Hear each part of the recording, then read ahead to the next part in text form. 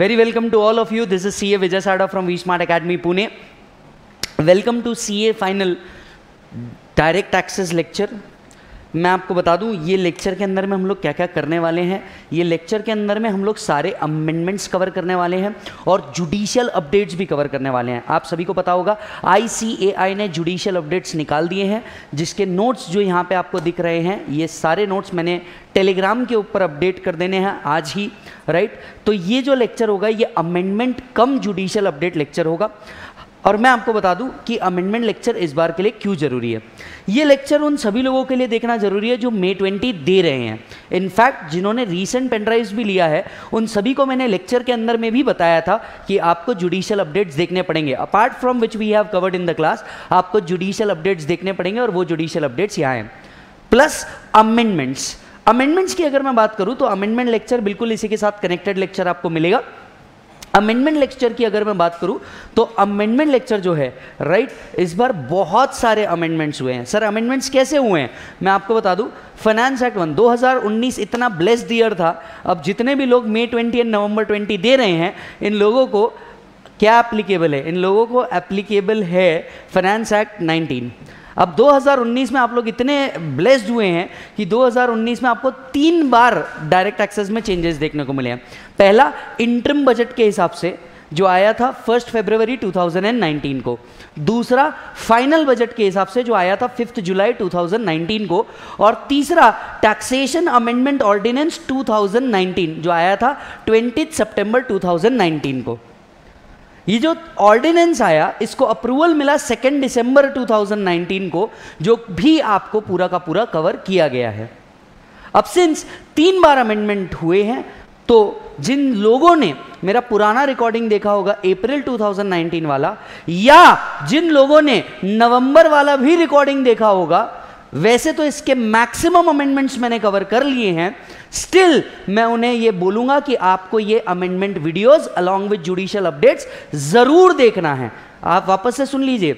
जिन जिन लोगों ने अप्रैल का रिकॉर्डिंग लिया है या नवंबर का रीसेंट रिकॉर्डिंग भी लिया है, उन लोगों को भी यह अमेंडमेंट वीडियो देखना मैंडेटरी है। पॉइंट एक। पॉइंट दो सर ये अमेंडमेंट के जो नोट्स है या ये जुडिशियल अपडेट के जो नोट्स है, ये मुझे कहाँ मिलेंगे? आपको बिल्कुल टेंशन लेने की ज़रूरत नहीं है। ये जो अमेंडमेंट्स के नोट्स है या जुडिशियल अपडेट के नोट्स है राइट ये आपको मिल जाएँगे मेरे टेलीग्राम ग्रुप के ऊपर। डिस्क्रिप्शन बॉक्स चेक कर लीजिएगा। डिस्क्रिप्शन बॉक्स में आपको इसका लिंक मिल जाएगा राइट तो डिस्क्रिप्शन बॉक्स के अंदर में मैं इसका लिंक दे रहा हूँ। वहाँ जा करके आप ये नोट्स डाउनलोड कर पाएँगे। So judicial update plus amendment के नोट्स आप निकालेंगे और सभी लोग इसे अपने पास रखेंगे। भले ही आपने रीसेंट रिकॉर्डिंग भी ली हो तो भी आपको यह देखना ज़रूरी है। Right right? जितने लोग नवंबर 20 के लिए ये वीडियो देख रहे होंगे, आपको बता दूँ, आपके लिए कुछ और अमेंडमेंट्स हो सकता है इफ़ एनी आए, और वो सारे के सारे मैं सितंबर 20 के अंदर में अपलोड कर दूँगा। सो एज आई सेड मैंने बोला था कि मैं सेकेंड वीक के अंदर में आपको ये कर दूँगा तो आज मैं इसके रिकॉर्डिंग कर रहा हूँ। ये जो अमेंडमेंट वीडियोज़ है, ये काफ़ी बड़े हैं ऑलमोस्ट आपको तीन से चार पार्ट के अंदर में ये पूरे कंप्लीट होंगे, क्योंकि मैं इसके अंदर में जुडिशियल अपडेट भी डाल रहा हूँ। तो टेक्निकली मैंने इसको तीन से चार पार्ट के अंदर में रखा है। Every lecture minimum three to four hours का है। जिसके अंदर में हर एक लेक्चर को हर एक टॉपिक को बड़े डिटेल के अंदर में डिस्कस किया गया है। तो अच्छे खासा टाइम निकाल करके आप लोगों ने इस चीज़ को देखना है और मैं उम्मीद करता हूँ ये सारा वीडियो देखने के बाद आपको एक बहुत अच्छी कंसेप्चुअल क्लैरिटी आ जाएगी। इनफैक्ट मैंने ऑलमोस्ट जितने अमेंडमेंट है including direct taxes as well as international taxes वो सारे एक साथ इसके अंदर में क्या कर लिए हैं? कवर कर लिए हैं। सो so, ये अमेंडमेंट लेक्चर बड़ा ही डिटेल्ड लेक्चर है। बहुत ध्यान से देखिएगा। दूसरी बात, ये अमेंडमेंट लेक्चर मैंने मल्टीपल टाइम पे रिकॉर्ड किया है, क्योंकि आप भी समझ सकते हैं, इतने सारे अमेंडमेंट्स हैं तो मैंने इसे मल्टीपल टाइम पे रिकॉर्ड किया हुआ है राइट सो प्लीज़ उसको बहुत अलग तरीके से, क्योंकि होगा बीच में आपको ड्रेस वगैरह चेंज मिलेंगे, हुलिया चेंज मिलेगा, उस हिसाब से मैं आपको बता रहा हूँ कि थोड़ा सा ध्यान रखिएगा। डन सर सो वापस से एक बार कह दूँ, जितने लोगों ने अप्रैल 19 की रिकॉर्डिंग ली, या इनफैक्ट रिसेंट नवंबर 19 की भी ली नाइन मैक्सिमम सारे अमेंडमेंट्स कवर्ड है बट आपको बहुत सारे अमेंडमेंट फिर से देखने होंगे।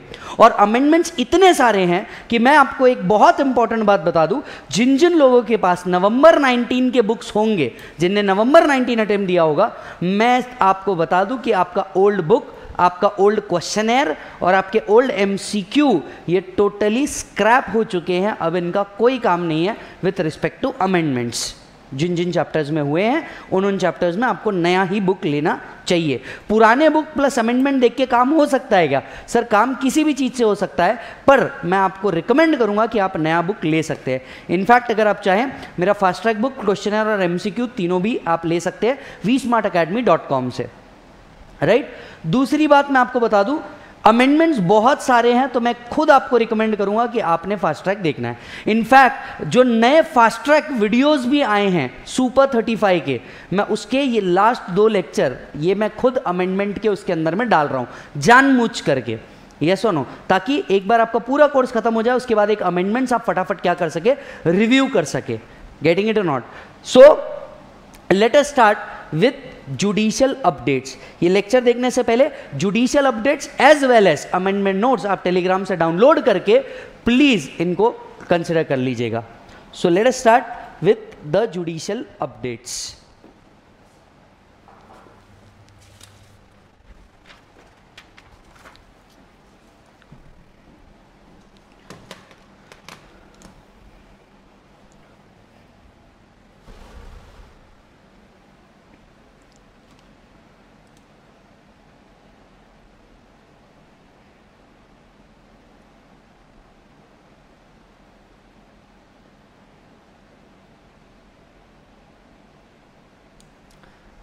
आइए सर।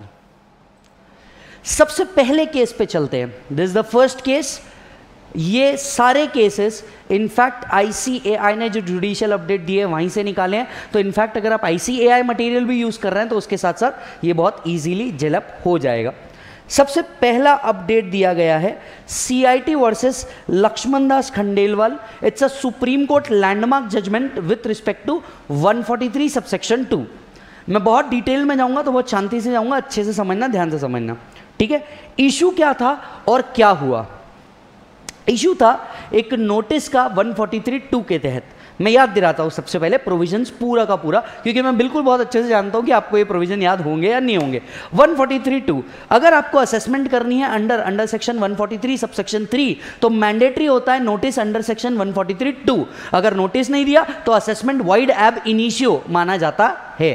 हालाँकि, इसका एक एक्सेप्शन है section 292 double B section 292 double B कहता है कि अगर असेसी को नोटिस नहीं मिला, सही टाइम पे नहीं मिला या सही मैनर में नहीं मिला तो भी इसको वैलिड असेसमेंट माना जाएगा। अगर असेसी यहाँ पे असेसमेंट के लिए आ जाता है और वो डिपार्टमेंट के साथ कोऑपरेट करता है। अगर आपको याद हो तो सेक्शन 292 डबल बी ये एक डिपार्टमेंट को फेवर करता हुआ सेक्शन था, जो कहता था, अगर 143 का नोटिस आपने नहीं भी दिया तो भी आपको असेसमेंट वैलिड माना जाएगा। अगर एसएससी कोऑपरेट करता है डिपार्टमेंट के साथ और वो हियरिंग में अटेंड होता है तो बाद में ही will be precluded from the provisions की notice was not served notice was not timely served और notice was not served in an appropriate manner तो हम इस केस को पढ़ने से पहले दो चीज़ों को रिकॉल कर रहे हैं, फिर से एक बार आपको बता दूँ। 143.2 कहता है कि, बॉस, अगर आपने नोटिस नहीं दी तो 143.3 का असेसमेंट इनवैलिड हो जाएगा। हालाँकि इसको एक एक्सेप्शन था सेक्शन 292 डबल बी जो कहता था, अगर आपने नोटिस नहीं दी तो भी क्या होगा? आपका ये असेसमेंट वैलिड हो जाएगा अगर आप कोऑपरेट करते हैं, या फिर या फिर असेसी क्या करता है असेसमेंट में खुद आ जाता है।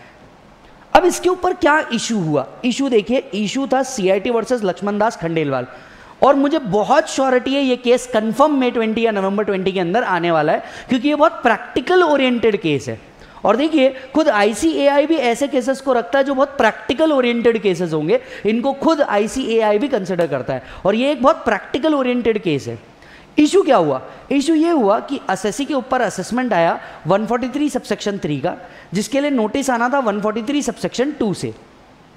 बराबर है? अब हुआ ये कि एओ ने 143 टू का नोटिस दिया ही नहीं।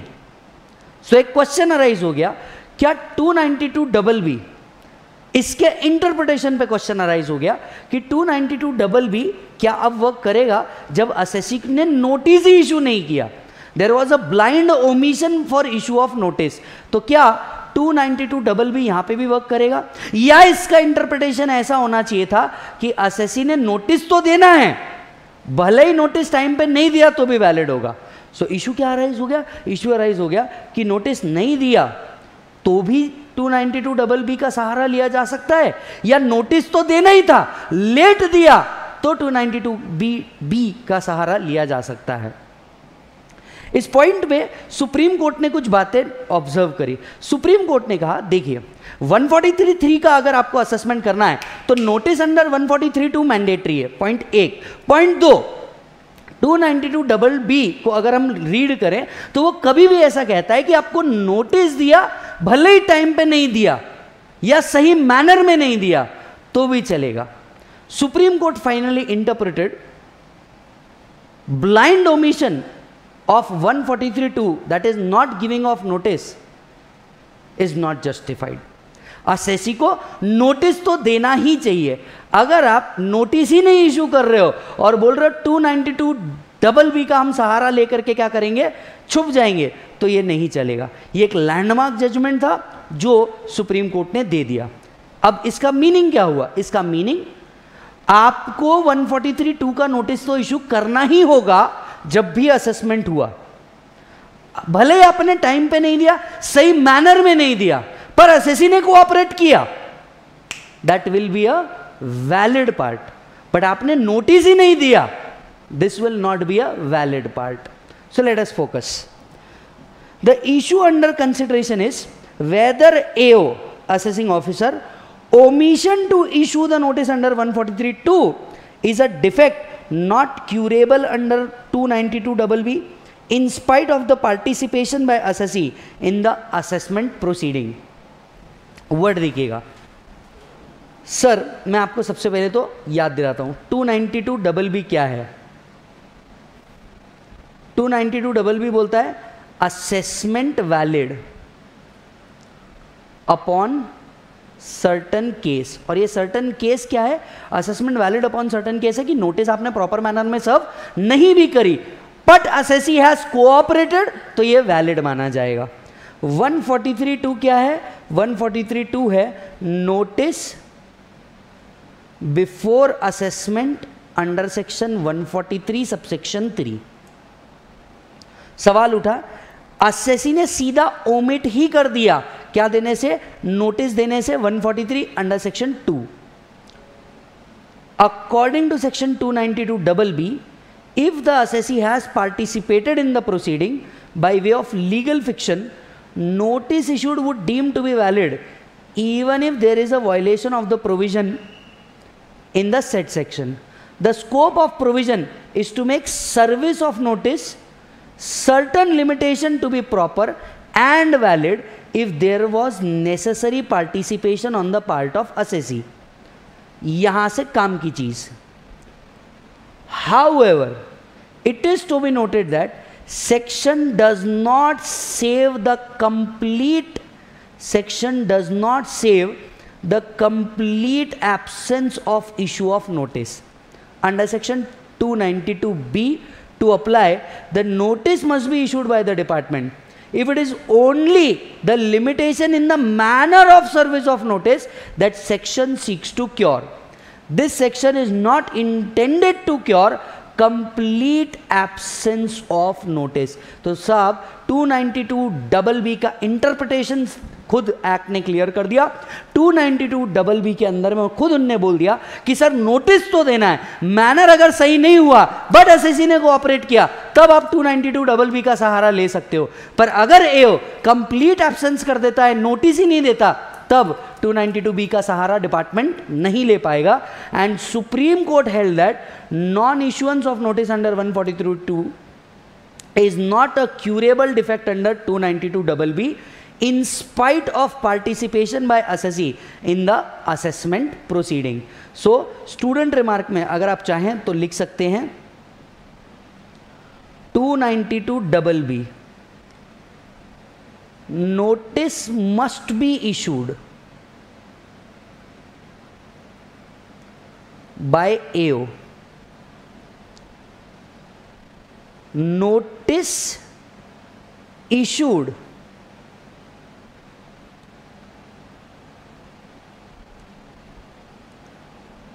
notice issued, but not in proper manner.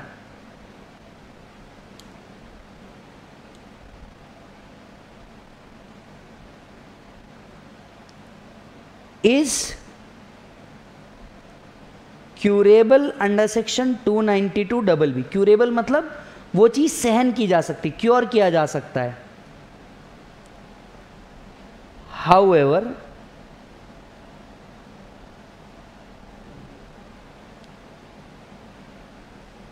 notice under section 143.2 must be issued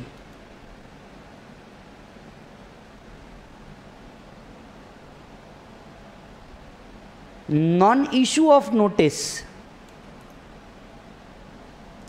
I don't know ये बार बार क्यों जा रहा है। और non issue of notice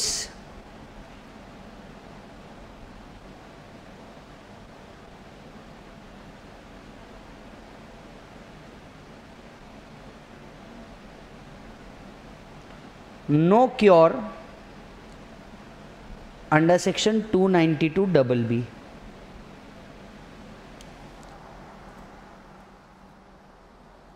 so so, बड़ा सिंपल है। आप 292 डबल बी का सहारा डिपार्टमेंट तब नहीं ले पाएगा जब उसने नोटिस ही इशू नहीं की। नोटिस तो इशू करना ही होगा।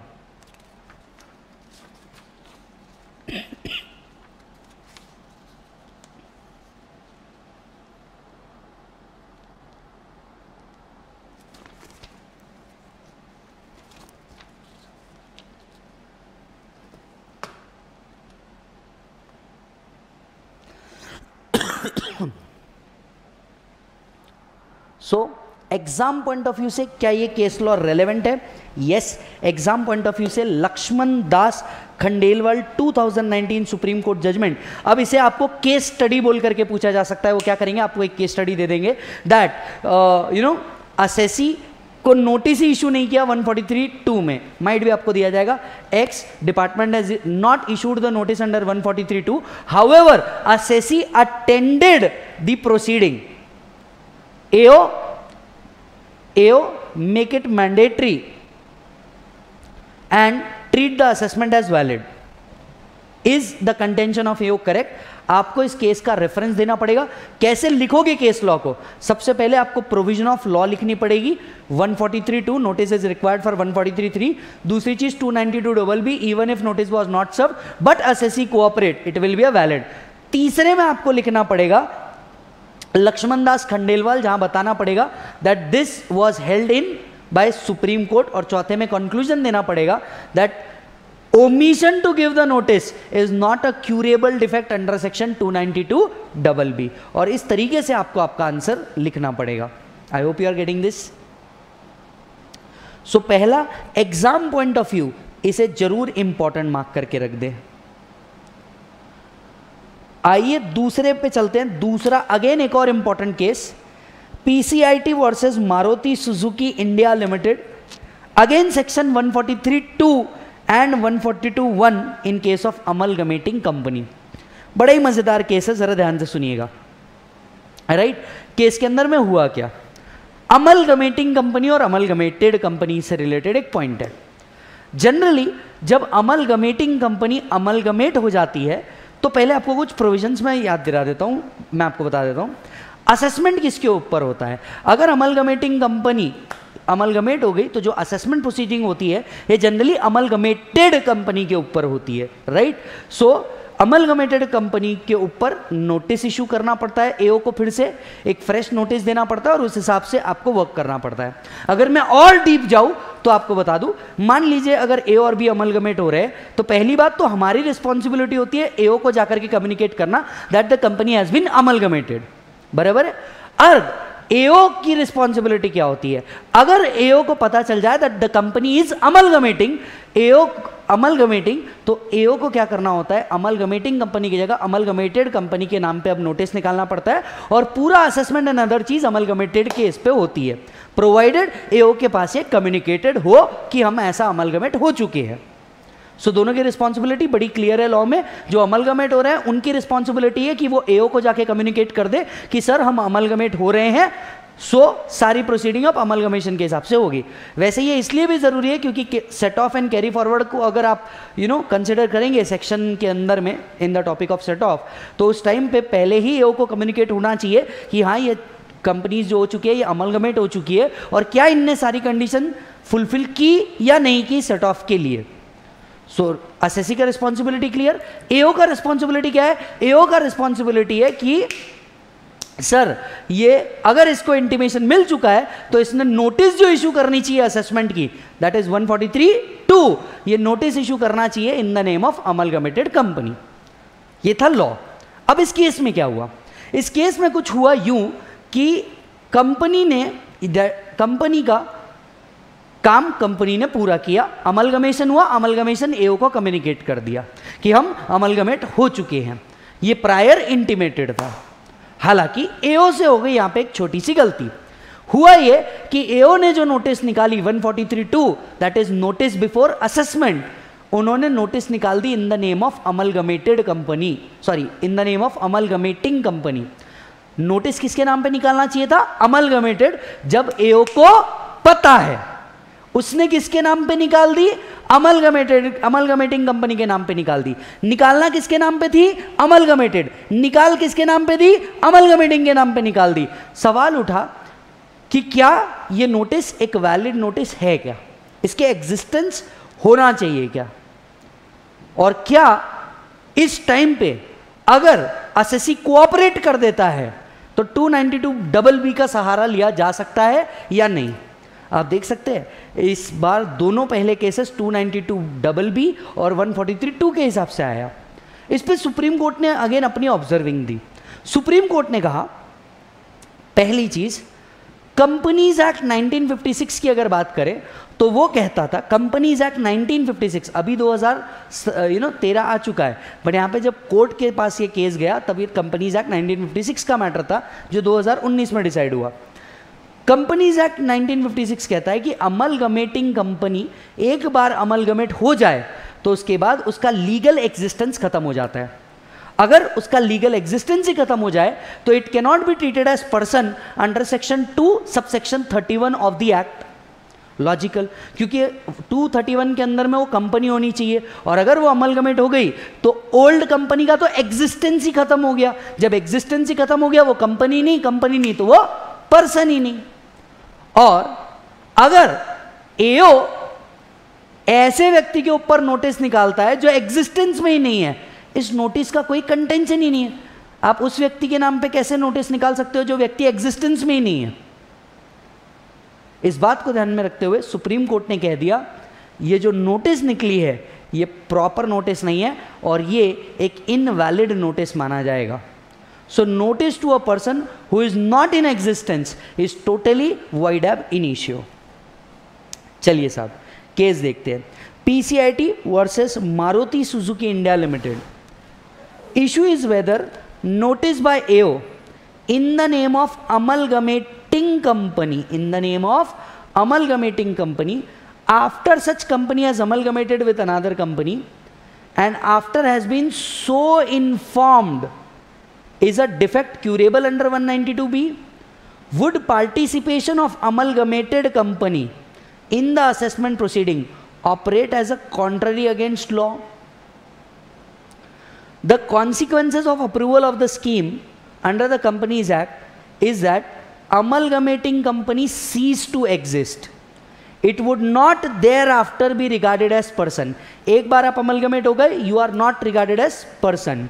So सीधे शब्दों में अगर कहना जाए once amalgamated the old existence is over against which the assessment proceeding could be initiated और an assessment order could be made the notice under one forty three two was issued to amalgamating company prior to the date on which judicial notice was issued the scheme of amalgamation has been approved by high court and the same has also been informed to AO.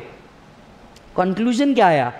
Despite the fact that AO was informed about the amalgamating company having ceased to exist as a result of approved scheme of amalgamation, the judicial notice was issued in the name of amalgamating company. The basis of which jurisdiction was invoked by fundamentally to odd with the legal principle of amalgamating entity ceased to exist upon approval of the scheme. The Supreme Court accordingly held that intimation of assessment proceeding on a non-existence entity was void ab initio and participation cannot operate as an estoppel against the law. So so, बात बहुत clear कर दी notice rather मैं यहाँ लिख रहा हूँ, notice, आप स्टूडेंट रिमार्क में लिख दीजिए माइट भी मेरा वो वर्क नहीं कर रहा है, ये ऐप वर्क नहीं कर रहा है। Notice under section 143 two to a person not in existence is void ab initio. Further, notice to amalgamating company when it ceases to exist is void ab initio.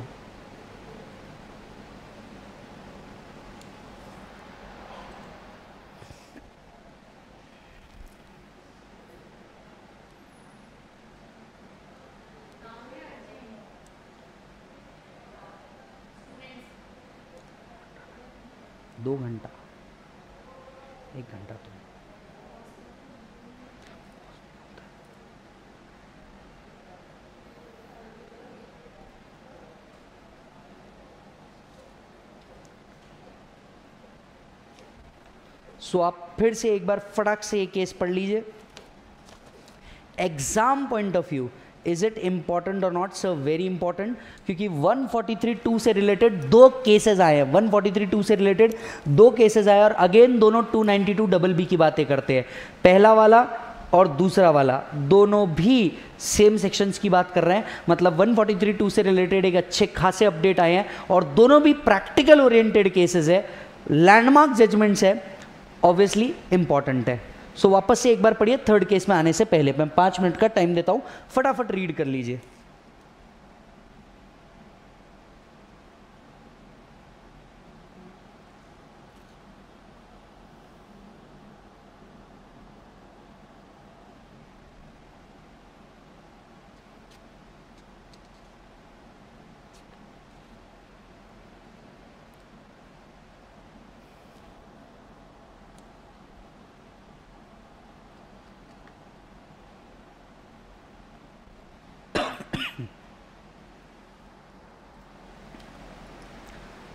I think it is done so पहले वाले case में सीधी बात कही गई थी। Notice तो issue करना ही है। Omission of giving a notice can not be cured by 292 double B दूसरे केस में कहा गया है कि बॉस एक ऐसे एंटिटी को नोटिस दे देना जो अब एग्जिस्टेंस में ही नहीं है, ये वॉइड एब इन इशू माना जाएगा। आइए थर्ड केस पे चलते हैं। C I T versus A A estate private limited 2019 chapter related to appeal पहले दो case chapter related to assessment थे now the chapter is related to appeal आइए पॉइंट पे फोकस करते हैं।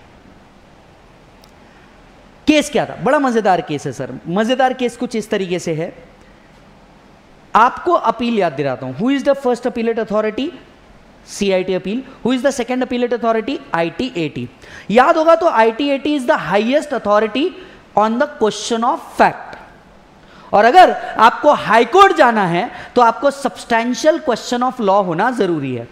सब्सटैंशियल क्वेश्चन ऑफ़ लॉ कौन frame करता है? हाईकोर्ट मतलब हाईकोर्ट में हियरिंग तब हो सकती है when the question is substantial question of law clear बात? राइट? ये सारी बातें हम लोगों ने करी है। और अगर आपको असेसमेंट में थोड़ा सा भी तकलीफ़ हो राइट आप, मैं आपसे कहूँगा, आप fast track super thirty five ज़रूर देखिएगा। राइट इसके अंदर में अमेंडमेंट्स तो कवर है ही। असेसमेंट इतना प्यार से कवर है कि अगर आप पहली बार भी पढ़ रहे होंगे तो आपको बहुत अच्छे से समझ में आएगा।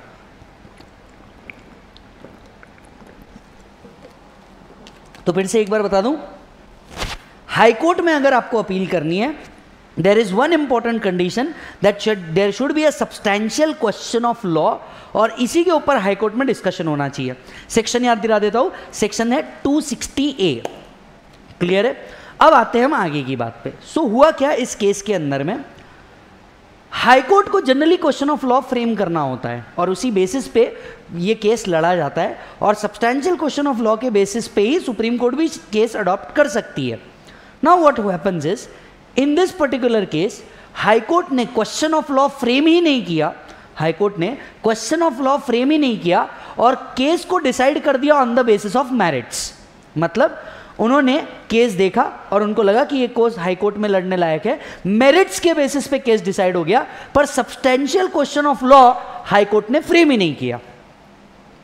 अब एक इश्यू अराइज हो गया कि हाईकोर्ट क्या कोई केस कंप्लीट कर सकता है just on merits without following the procedure which is creating a substantial question of law क्या हाईकोर्ट सिर्फ़ मेरिट के बेसिस पे केस डिसाइड कर सकता है? या merit plus question of law बनाना उसको ज़रूरी हो जाएगा? ये एक बहुत इंपॉर्टेंट पॉइंट था, जो इस बार एपेक्स कोर्ट सुप्रीम कोर्ट ने क्लियर कर दिया। सुप्रीम कोर्ट ने क्या क्लियर किया इस केस में? इस केस में सुप्रीम कोर्ट ने देखा कि हाई कोर्ट में आप मेरिट्स के बेस पे तो केस लड़ ही सकते हो नो no डाउट लेकिन उस केस में भी substantial question of law high court को फ्रेम करना होगा ही. मतलब जब भी हाईकोर्ट में कोई केस लड़ा जाएगा, इसमें दोनों चीज़ें होनी चाहिए. पहला, ये केस मेरिट्स के बेसिस पे तो होना ही चाहिए नो no डाउट पर इसके अंदर में सब्सटैंशियल क्वेश्चन ऑफ़ लॉ भी हाईकोर्ट को फ्रेम करना है. और अगर हाईकोर्ट सिर्फ़ मेरिट्स के बेसिस पे करती है और सब्सटैंशियल क्वेश्चन ऑफ़ लॉ के बेसिस पे नहीं करती तो यहाँ हाईकोर्ट सही नहीं है। और इस केस में हाईकोर्ट्स को fresh question of law accept करना चाहिए और फिर से इस केस को कंसिडर करना चाहिए। ऐसा सुप्रीम कोर्ट ने एडवाइस किया। तो सुप्रीम कोर्ट ने क्लियर कट बोल दिया फ्रेश केस होगा फ्रेश क्वेश्चन ऑफ़ लॉ बनेगा। अगर हाई कोर्ट ने कोई डिसीज़न दे दिया without considering a question of law just on the basis of merits case देखते हैं। High court without itself framing the substantial question of law at the time of admission of appeal issued notice heard both the parties and decided the appeal उन्होंने substantial question of law बनाया ही नहीं। उन्होंने क्या किया? उन्होंने सीधा appeal लिया नोटिस इशू किया पार्टी की हियरिंग कर दी अपील डिसाइड कर दिया। और affirming the order of tribunal tribunal ने जो ऑर्डर दिया था सेम हाईकोर्ट ने भी अफर्म करके मैरिज के बेसिस पे हटा दिया। The issue under consideration is whether High Court is justified in not formulating, in not formulating the substantial question of law as required under 260A and adjudicating merely on the basis put forward by applicant under 262C 260A 2C the apex court that is the highest court notice that there lies a distinction between question proposed by the applicant and the questions framed by high court 260 a का clear cut requirement है सामने वाला question जो propose कर रहा है, वो तो आप ले ही सकते हो नो डाउट बट हाईकोर्ट की ये मैंडेशन रिक्वायरमेंट है कि हाईकोर्ट खुद क्वेश्चन ऑफ़ लॉ को क्या करे? फ्रेम करे.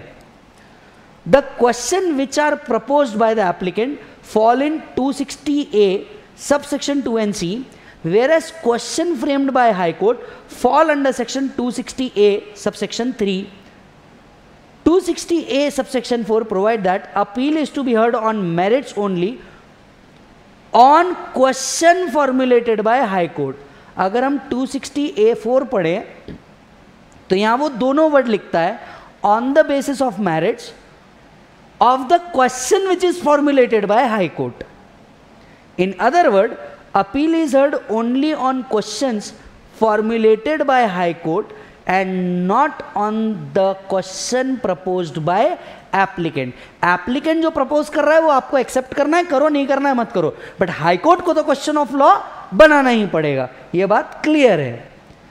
If the High Court is of the view that appeal did not involve any substantial question of law it should record a category finding to that effect that question propose either do not arise in this case or are not substantial question of law to attract regress two sixty A for its admission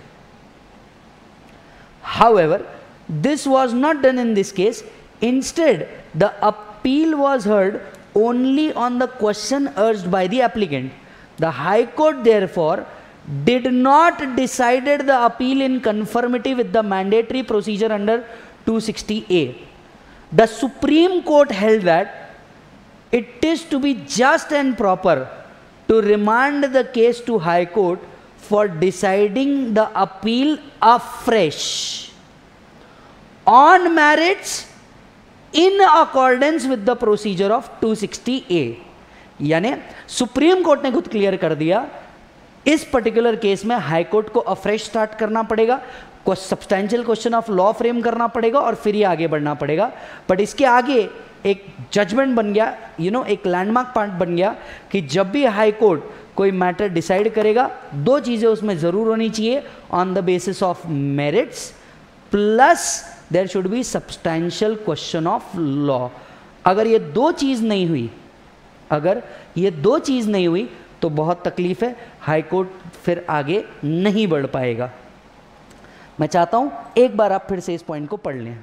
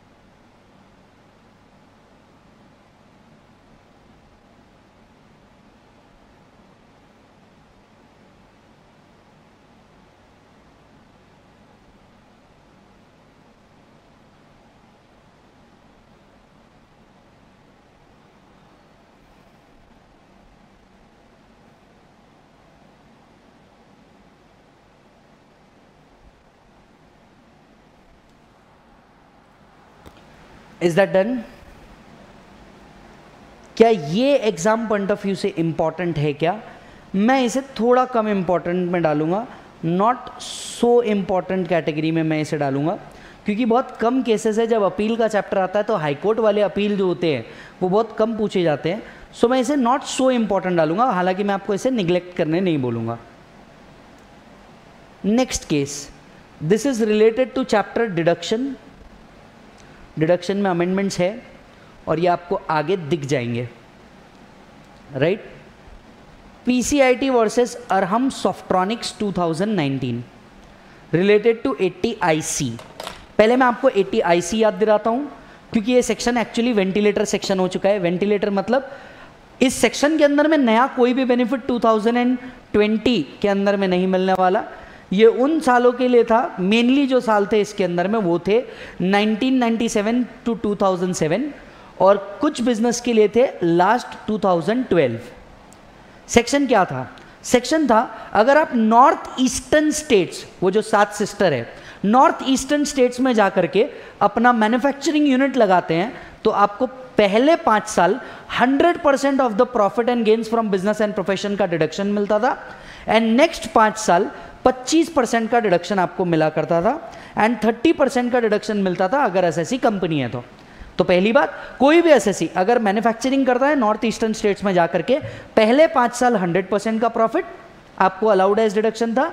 next पाँच साल company assessee है तो 30 percent deduction other than company assessee है तो 25 percent का deduction मिला करता था। Subject to condition which wherein 80 IC practically speaking 80 IC में आज कोई भी बेनिफिट नहीं है। यानी टेक्निकली देखा जाए तो 80 आईसी में बेनिफिट था टेन ईयर्स का। हालाँकि पहले पाँच साल 100 परसेंट और नेक्स्ट पाँच साल 25 या 30 depending upon the assessee plus condition अब इसमें क्या चेंज आया है? मैं आपको वो समझाता हूँ। एटी आईसी अभी वर्क कर रहा क्या? नहीं, ये सारे वेंटिलेटर वाले सेक्शन है। आपने मेरे साथ सुपर 35 या यू नो रेगुलर बैच भी किया होगा तो आपको पता चल जाएगा ये वेंटिलेटर वाले सेक्शन थे, जो अब जा चुके हैं। टेक्निकली अगर 2012 भी कहा और किसी ने 2012 में भी अगर एसएससी ने क्या कर रखा है? इन्वेस्टमेंट करके रखा है। तो वहाँ से 10 साल भी 2022 होता है। मतलब आज इसमें डिडक्शन मिले ना मिले एक्ट में ये सेक्शन ज़रूर पड़े हुए हैं। बराबर है? सो so, क्या एग्ज़ाम पॉइंट ऑफ़ व्यू से ये इंपॉर्टेंट बनता है क्या? मैं इसे भी डालूँगा नॉट सो इंपॉर्टेंट कैटेगरी में। मैं इसे भी नॉट सो इंपॉर्टेंट कैटेगरी में डालूँगा। पहले दो, भयानक इंपॉर्टेंट दूसरे दो नॉट सो इंपॉर्टेंट कैटेगरी के अंदर में। ध्यान से सुनिए अभी क्या हुआ। सवाल आया कि, सर, मान लीजिए एसएससी जो था, इसने पहले सारी कंडीशन सेटिस्फाई करी whatever was written in eighty IC पहले पाँच साल का इसने डिडक्शन ले लिया हंड्रेड परसेंट अब एसएससी ने यहाँ पे चालाकी दिखाई। एसएससी ने क्या किया? सब्सटैंशियल एक्सपांशन किया। सेम बिज़नेस के अंदर में सब्सटैंशियल एक्सपांशन किया। सब्सटैंशियल एक्सपांशन का मतलब क्या था? सब्सटैंशियल एक्सपांशन का मतलब था कि इसने और कैपिटल जो लग रहा था असेसी ने और कैपिटल लगाया और असेसी ने डिमांड किया डिपार्टमेंट से कि अब जो मैं सब्सटैंशियल एक्सपांशन लगा रहा हूँ इस बिज़नेस के अंदर में, इसको इनिशियल ईयर माना जाए और मुझे अगले पाँच साल के लिए भी हंड्रेड परसेंट का बेनिफिट दिया जाए। पहले पाँच साल का वो ले चुका था। उसने फिर से नया कैपिटल डाला और कहा कि यहाँ से फ़र्स्ट ईयर पकड़ो और मुझे आगे भी बेनिफिट दो किसका? 100 परसेंट ऑफ़ द पीजीबीपी का। डिपार्टमेंट ने असेसमेंट ओपन करी इस एसएससी की। पाया कि एसएससी ऑलरेडी 100 परसेंट रिडक्शन ले चुका है। दो क्वेश्चन अराइज हुए यहाँ से। पहला, अगर कोई सब्सटैंशियल एक्सपेंशन करता है with new capital and other requirement क्या हम इस पे 100 परसेंट डिडक्शन दे सकते हैं ऑन द पार्ट जहाँ से सब्सटैंशियल चालू हो रहा है। दूसरी बात, क्या 80 आईसी 10 साल के आगे बढ़ सकता है क्या? क्योंकि अगर आप यहाँ सब्सटैंशियल एक्सपेंशन को इनिशियल ईयर पकड़ रहे हो तो क्या यहाँ से 10 साल अलग काउंट होंगे या इन टोटल 10 साल काउंट होंगे? इन दोनों बातों को कोर्ट ने क्लियर किया। इन दोनों बातों को सुप्रीम कोर्ट ने क्लियर कर दिया। एपेक्स कोर्ट ने कहा पॉइंट वन एट्टी आईसी का डिडक्शन 10 साल का ही होगा 10 साल से एक्सटेंड नहीं होगा। मतलब ये क्लियर है कि माइट भी 2022 इसका आखिरी साल होगा और ये एक्ट से भी बाहर हो जाना है। पहला 10 साल से ज़्यादा का इसका पीरियड नहीं होगा सो 80 आईसी 10 साल बहुत हो गए गेम ओवर अब तब दूसरे और सबसे इंपॉर्टेंट क्वेश्चन क्या सब्सटैंशियल एक्सपांशन को नया बिज़नेस मान के 100 परसेंट डिडक्शन दिया जा सकता है? हाँ या ना? इस पे कोर्ट ने कहा कि अगर एसएससी फ्रेश कैपिटल डालता है और सेक्शन 80 आई सी की दीवी सारी कंडीशन को सेटिस्फाई करता है तो आप जिस ईयर में सब्सटैंशियल एक्सपेंशन हुआ है, उस ईयर को इनिशियल ईयर मान के फिर से 100 परसेंट दे सकते हो। However the total period can not exceed 10 years the overall period can not exceed 10 years so S के लिए तो ये बेनिफिशियल बात है। पहले पाँच साल उसने बेनिफिट ले लिया, फिर capital requirement substantial you know substantial expansion दिखा के और बेनिफिट वो ले सकता है। लेकिन बुरी बात यह है overall period can not exceed ten years check it out assessee who has set up a new industrial undertaking and avail deduction at the rate of 100% of profit under 80 IC IC किससे related था north eastern states for the first five year be eligible to claim deduction of hundred percent on having substantial expansion for a period remaining out of 10 years. The Apex Code noted that as per the definition of initial assessment year, the first two events that is the previous year in which it begins to manufacture are relatable to units, whereas the third incidence completes the substantial expansion which would occur in respect of existing unit. The benefit of 80IC is thus not only admissible when undertaking is newly set up and started manufacturing, the advantage of this provision also accrue to existing unit if they carry out substantial expansion तो यहाँ से यहाँ तक box में डाल सकते हो आप। The apex court also observe the various provision of eighty IC should be read jointly with various subsection with various subsection and enumerate that deduction of hundred percent of the profit and gains for the first five year with initial assessment and thereafter 25 or 30% where the assessee's company from the profit and gains. The deduction of 25% for the next 5 year is on assumption that the new unit remain static मतलब उसने कोई नया expansion नहीं किया समझो यहाँ से दो बात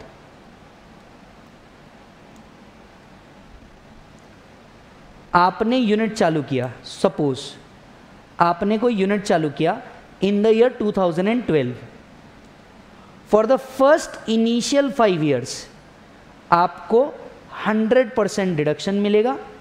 और अगर आप स्टैटिक रहे स्टैटिक मतलब बिल्कुल सेम ऑपरेट कर रहे हैं no new investment no new investment तो आपका जो डिडक्शन है हंड्रेड परसेंट का, ये हो जाना था ट्वेंटी फाइव परसेंट अगर आप अदर असेसी हैं तो या फिर थर्टी परसेंट अगर आप कंपनी हैं तो। सो बात बड़ी क्लियर है। कोर्ट ने कहा, मान लीजिए आपका यूनिट अगर चालू होता है 2012 में एंड सपोज़ 10 साल का बेनिफिट है 2022 तक, पहले पाँच साल 100 परसेंट का बेनिफिट आप ले लेंगे, और आपने अगर कोई न्यू इन्वेस्टमेंट नहीं किया पाँच साल के बाद तो आपको 25 और 30 परसेंट मिलने वाला है। However the movement substantial expansion take place Another assessment initial assessment year get triggered and new event entitles the unit to start getting 100% of the deduction of profit and gains. At the same time, new period of 10 years does not start on account of cap. Thus, the total period for which deduction can be allowed is capped at 10 years. Total cap कितने साल का रहेगा 10 भले ही आपने पाँचवें साल में नया इन्वेस्टमेंट किया तो ऐसा नहीं कि आपके दस साल पाँचवें साल से काउंट होंगे। Overall period will remain static that is ten year conclusion the apex court held that an undertaking or enterprises which has set up a new unit of a nature mentioned in 80 IC would be entitled, would be entitled to deduction at the rate of 100% for the first 5 year. and next 5 year admissible at 25 or 30 percent as the case may be यहाँ से काम की चीज however in case of substantial expansion is carried out by such undertaking within the aforesaid period of 10 years the previous year in which substantial expansion the period in which substantial expansion is undertaken would be regarded as initial assessment year would be regarded as initial assessment year And from that assessment year, the assessee shall be entitled to 100% deduction. However, would be the period remaining out of 10 years as provided in 80 IC. यही मान लीजिए example to ले लेते हैं example two आपने unit start किया 2012 में logically पहले पाँच साल पहले पाँच इनिशियल ईयर आपको 100 परसेंट डिडक्शन मिलेगा पाँच साल बाद आपने यहाँ न्यू इन्वेस्टमेंट किया राइट अब आपको क्या दस साल के लिए बेनिफिट मिलेगा? आंसर इज़ नो आपको बेनिफिट मिलेगा सिर्फ़ रिमेनिंग फाइव ईयर्स के लिए ही। ओवरऑल पीरियड पाँच प्लस पाँच, दस ईयर पर यहाँ जो डिडक्शन है, ये आपको कितना मिल जाएगा? Hundred percent so is it better to go for a new investment profit आ रहा होगा और इन्वेस्टमेंट कर सकते हो। तो आई थिंक ये सबसे बेस्ट चीज़ है जो 80 आई में हो सकती थी। अब लॉजिकली अगर सोच के देखें तो किसी ने, किसी के लिए दो साल ही बचे होंगे। 2012 उसमें भी कुछ बिज़नेस के लिए 2012 लास्ट ईयर था, बाकी सब तो 2007 के हिसाब से 10 साल 2017 में खत्म हो गए। एक ही बिज़नेस है न्यू इंडस्ट्रियल एक्टिविटी का, जो 2012 को चालू हुआ, वहाँ से 10 साल भी पकड़े तो 2022 होता है। और हम ऑलरेडी 2020 में हैं मतलब अभी भी दो साल है। आज अगर कोई सब्सटैंशियल एक्सपांशन करता है उसको कितने साल का बेनिफिट मिलेगा? रिमेनिंग टू ईयर कितना परसेंट रिडक्शन मिलेगा? हंड्रेड परसेंट आज अगर कोई एट्टी आईसी में सब्सटैंशियल इन्वेस्टमेंट करता है, उसी बिज़नेस में राइट right? कितने साल का बेनिफिट मिलेगा उसको? Remaining only two year deduction कितना? 25 या 30 या 100 100 अगर न्यू इन्वेस्टमेंट करता है स्टैटिक नहीं रहता तो. Please read out the whole provision again फटाफट रीड कर लीजिए।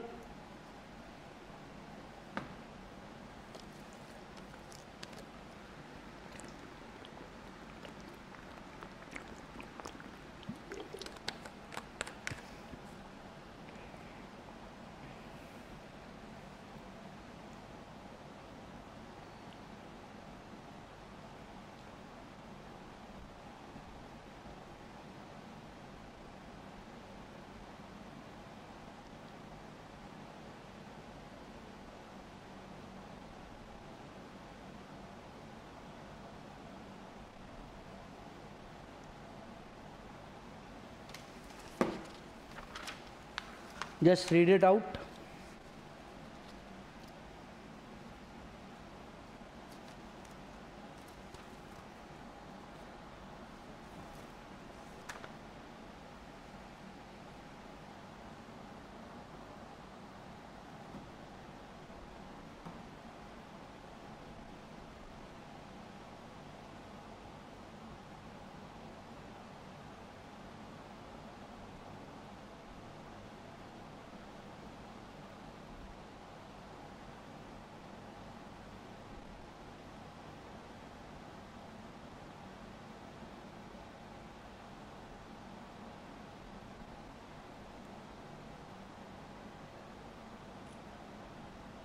Done sir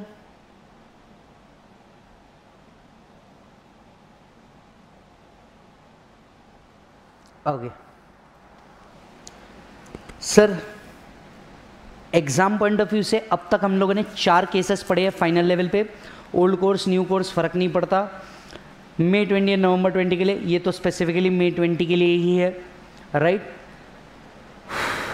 चार केसेस हमने पढ़ लिए। अगला केस जो आ रहा है, ये काम का केस है sir C I T exemptions versus V Rahman Foundation 2019 मैं इसे इंपॉर्टेंट कैटेगरी में फिर से डाल रहा हूँ। आइए केस काय से रिलेटेड है और केस क्या है वो आपको फटाफट बता दूँ। सर, ये कौन से चैप्टर से रिलेटेड है? सर, ये अपील चैप्टर से रिलेटेड है? ये टैक्सेशन ऑफ़ ट्रस्ट चैप्टर से रिलेटेड है। ये अपील चैप्टर से रिलेटेड है, या टैक्सेशन ऑफ़ ट्रस्ट चैप्टर से रिलेटेड है। प्लीज़ फोकस कीजिएगा। आपको याद होगा C I T can grant exemption for the purpose of charitable trust ये सी आई टी के एक पावर में से है कि सी आई टी क्या कर सकता है? किसी भी चैरिटेबल ट्रस्ट का रजिस्ट्रेशन ग्रांट कर सकता है। और अगर ट्रस्ट का रजिस्ट्रेशन है तो ही उसे सेक्शन 11 एंड 12 के अंदर में एग्जामेशन मिलेगा बींग अ ट्रस्ट याद होगा तो। दूसरा, अगर आपको याद हो तो सीआईटी ये रजिस्ट्रेशन अगर ग्रांट नहीं करता तो assessee has a right to file an appeal to ITAT मतलब अगर सीआईटी ने रजिस्ट्रेशन देने से रिजेक्ट कर दिया तो you can apply to ITAT इसी दौरान अब मैं दूसरे पार्ट पे आता हूँ. आईटीएटी के पावर आईटीएटी के पास अगर सेक्शन 254 पढ़ा जाए आईटीएटी के पास अगर सेक्शन 254 पढ़ाया जाए तो उसके पास वो हर एक अथॉरिटी है जो इनकम टैक्स अथॉरिटी के पास है। So I T ITAT has all the authority which has the power of income tax authority so technically I ITAT के जो पावर है, ये बहुत वाइड एंड प्लेनरी भी है। Right right? अब एक सवाल उठ रहा था इसी दौरान। इसी दौरान एक सवाल उठ रहा था। हुआ ये कि सीआईटी ने रजिस्ट्रेशन कैंसिल कर दिया किसी पर्टिकुलर एसएससी का। इसी एसएससी का। आईटीएटी दो सवाल पूछता है यहाँ से। आईटीएटी के पास दो सवाल आते हैं। पहला सवाल, क्या आईटीएटी डायरेक्ट ऑर्डर कर सकती है सीआईटी को to grant the registration point पहला।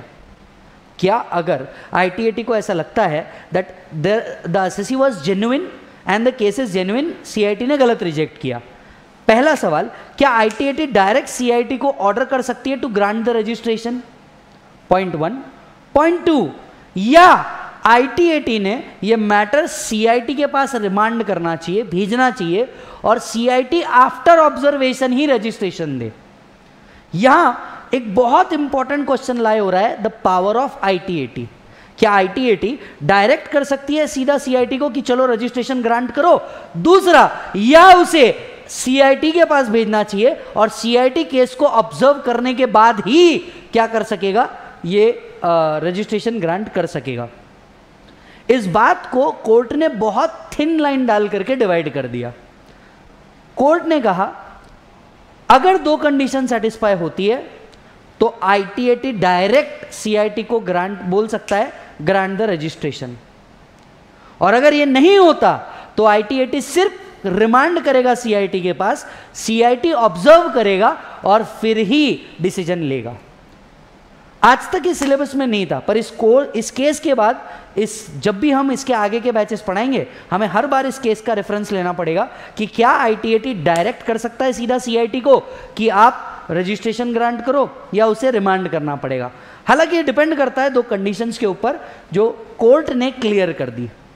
काफ़ी बेहतरीन डिसीज़न कैसे क्वेश्चन आएँगे इस पर हो सकता है आपको ये दो सिचुएशन बताई हो और बोला हो, बताओ आईटीएटी क्या डायरेक्ट कर सकता है क्या सीआईटी को? डायरेक्टली ग्रांट रजिस्ट्रेशन अगर वो दोनों कंडीशन सेटिस्फाई होगी, आपको आंसर लिखना पड़ेगा यस इस कोर्ट इस केस का रेफरेंस देते हुए. अगर ये कंडीशन सेटिस्फाई नहीं हो रही होगी तो आपको लिखना पड़ेगा that ITAT will pass the matter to and CIT after observation will grant the registration इस तरीके से ये बनेगा। मतलब ये एक नई चीज़ है जो आपके लिए है और मैं सभी फाइनल वाले बच्चों को बोलूँगा कि इसे बड़े ध्यान से देखें राइट मैं खुद सबसे पहले लिख ले रहा हूँ। आपसे रिक्वेस्ट है कि आप भी इसे लिख लें। कहाँ लिख सकते हैं? स्टूडेंट रिमार्क में तो आई गेस बहुत कम बचा हुआ है। इसके पहले वाले पेज पेज नंबर पाँच पे आप लिख सकते हैं। बस यहाँ पे लिख दीजिए रेफर पेज नंबर पाँच फॉर चार्ट मैं एक चार्ट बना रहा हूँ। ये चार्ट आप लिख लेंगे तो आई थिंक ज़्यादा बेहतर हो जाएगा।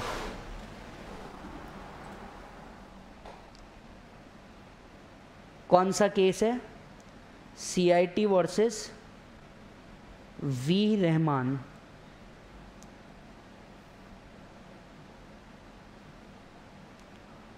I T A T can direct C I T to grant registration under section 12 AA. Second, ITAT has to remand the case to CIT and CIT after observation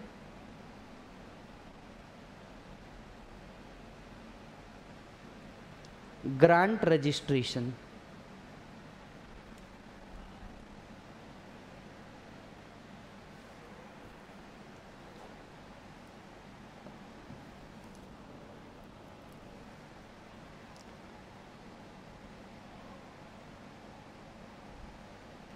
Point number one, where CIT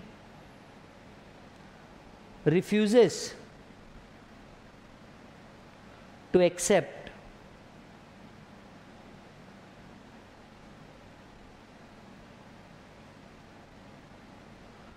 Application for registration.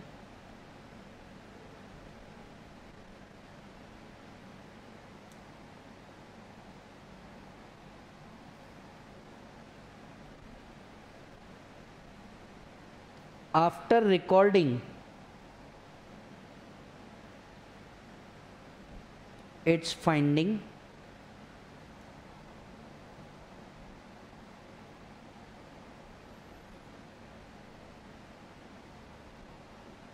On the basis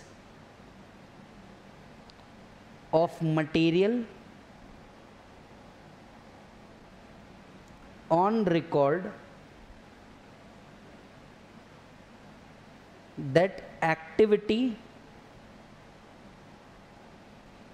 of trust are not genuine and point number 2 IT80 on the basis of same material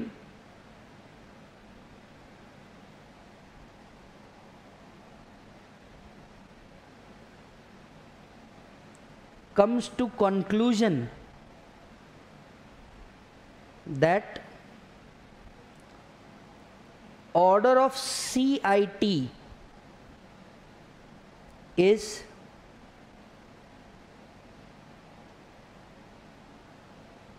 perverse since it has been passed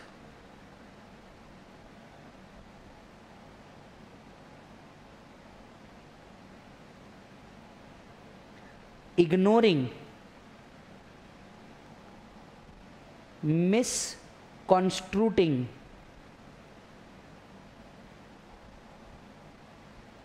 or misinterpreting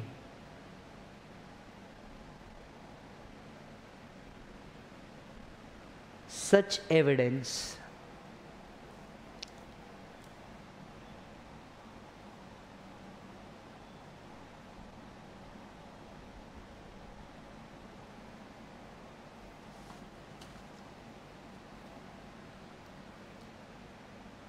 मैं यहाँ से लिख रहा हूँ जानबूझ के ताकि आप कंप्लीट कर सको।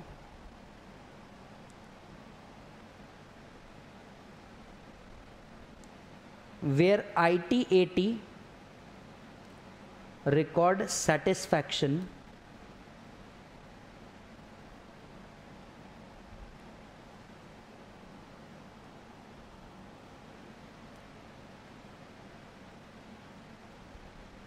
on the basis of material gathered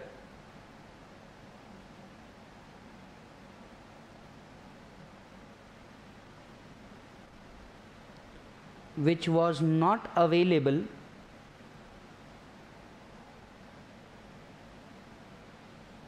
before CIT earlier and CIT rejects application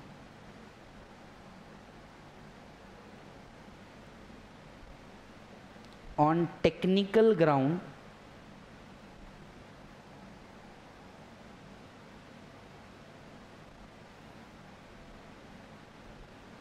without recording its opinion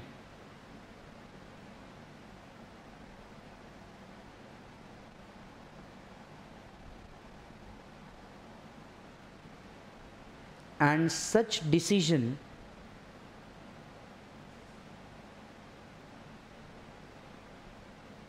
is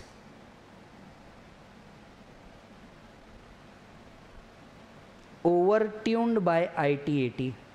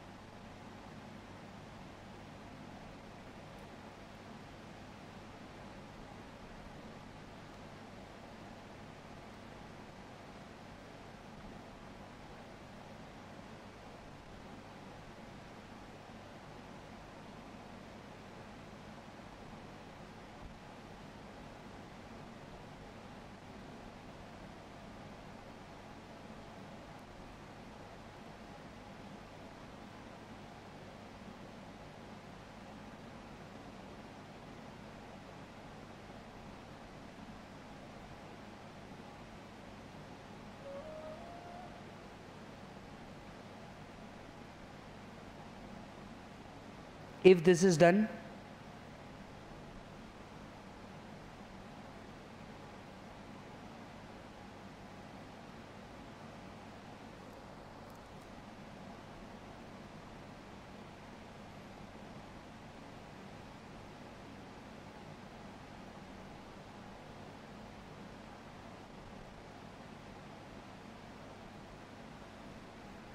check लिख लिया बेटा आपने? आ जाओ।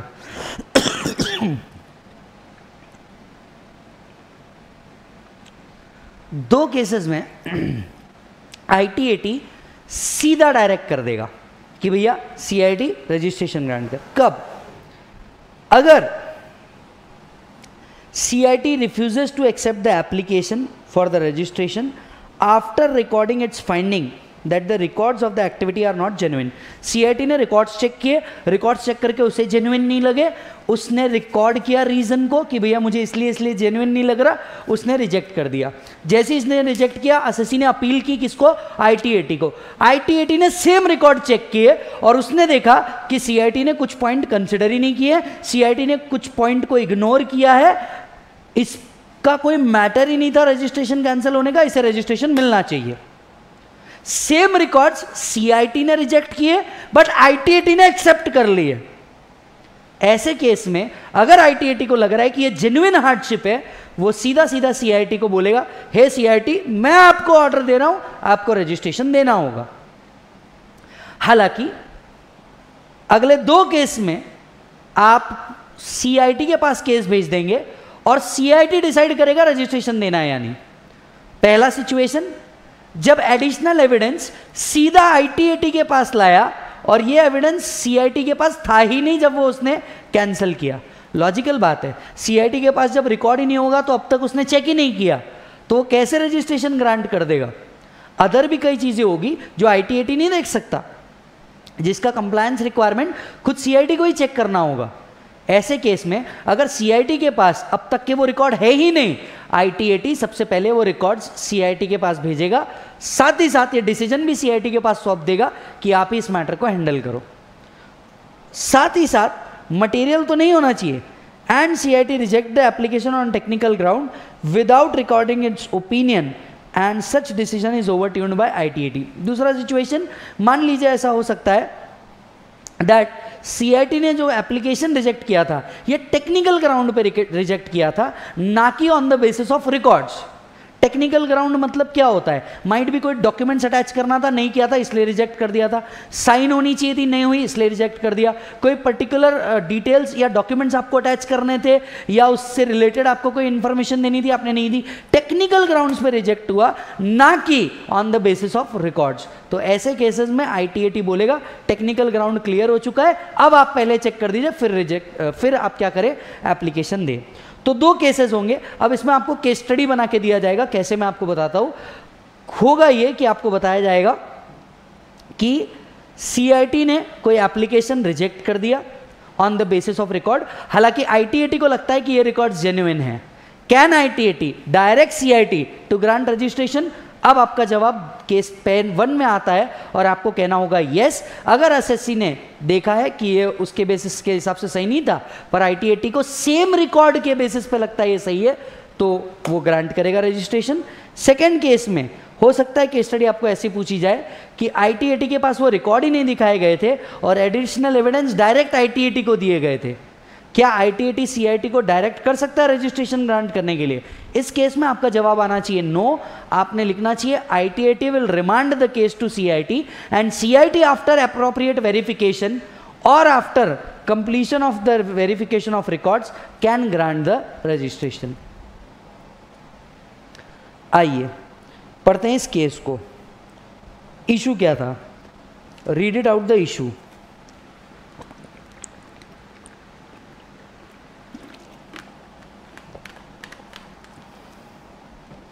The issue under consideration is whether the appellate tribunal has the power under section 254 to pass a order directing CIT to grant registration under 12AA or पहला क्या वो directly एक order pass कर सकता है जहाँ पे वो सीआईटी को रजिस्ट्रेशन ग्रांट करने बोल दे और it should remand the case to CIT for deciding the matter remand मतलब ये उसके हाथ में दे देना, उसके रिमांड में दे देना, उसके ताबे में दे देना या उसके जुरिस्डिक्शन में दे देना।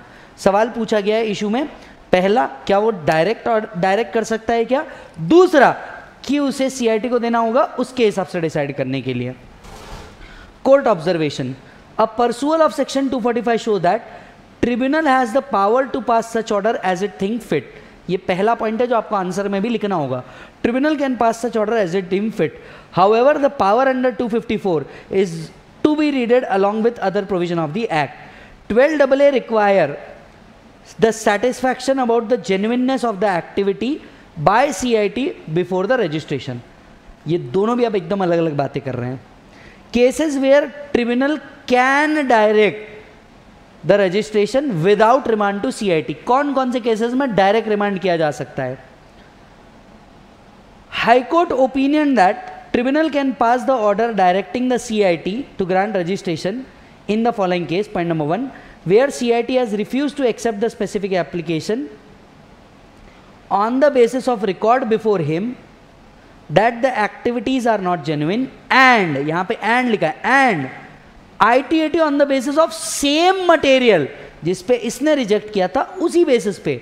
On the basis of same material comes to the conclusion that order is perverse and since it has been passed ignoring misconstruing और misinterpreting the evidence in such a case tribunal can direct the registration without remanding the matter to C I T since such remand would only be an empty formality as C I T cannot go against the conclusion arrived by ITAT. In the view of unfettered power of ITAT, the tribunal can very well record its satisfaction on the genuineness of activity and the object of the trust and direct the registration of trust without the remand of the case to CIT. In case such satisfaction is recorded on the basis of document and material already available on record at the stage of examination. Cases where tribunal has to remand to CIT, where tribunal has recorded the satisfaction that the documentary evidence which was not available before CIT while exercising the power पहला ITAT के पास direct additional evidence दिए CIT के पास ये थे ही नहीं तब आपको पहले सीआईटी को देना चाहिए और फिर वो मैटर डिसाइड करेगा and CIT reject the application on the basis of technical ground which is overtuned by tribunal the high court conclusion the high court held that the appellate tribunal while hearing the appeal under 254 is in a matter of registration has been denied by CIT can itself pass the order directing to CIT only in case tribunal disagree with the opinion of CIT as regard to the genuineness of the activity. However, the said power is not to be exercised by tribunal as a matter of course and remand the to CIT where the appellate tribunal records a divergent view on the basis of material which has been filed for the first time यहाँ पे लिख दीजिए not available with C पहले अगर वो CIT के पास देखा ही नहीं गया है तो CIT का मैटर ये बनता है। आई की रिस्पॉन्सिबिलिटी है पहले सीआईटी को दे और फिर इसके जेन्युइननेस पे चेकिंग हो। सो so, ये दो चीज़ें हमने लिख दी। फटाफट एक बार रीड कर लीजिए। आगे बढ़ेंगे। जो हमने लिखा है वो वाला पार्ट भी रीड कीजिएगा।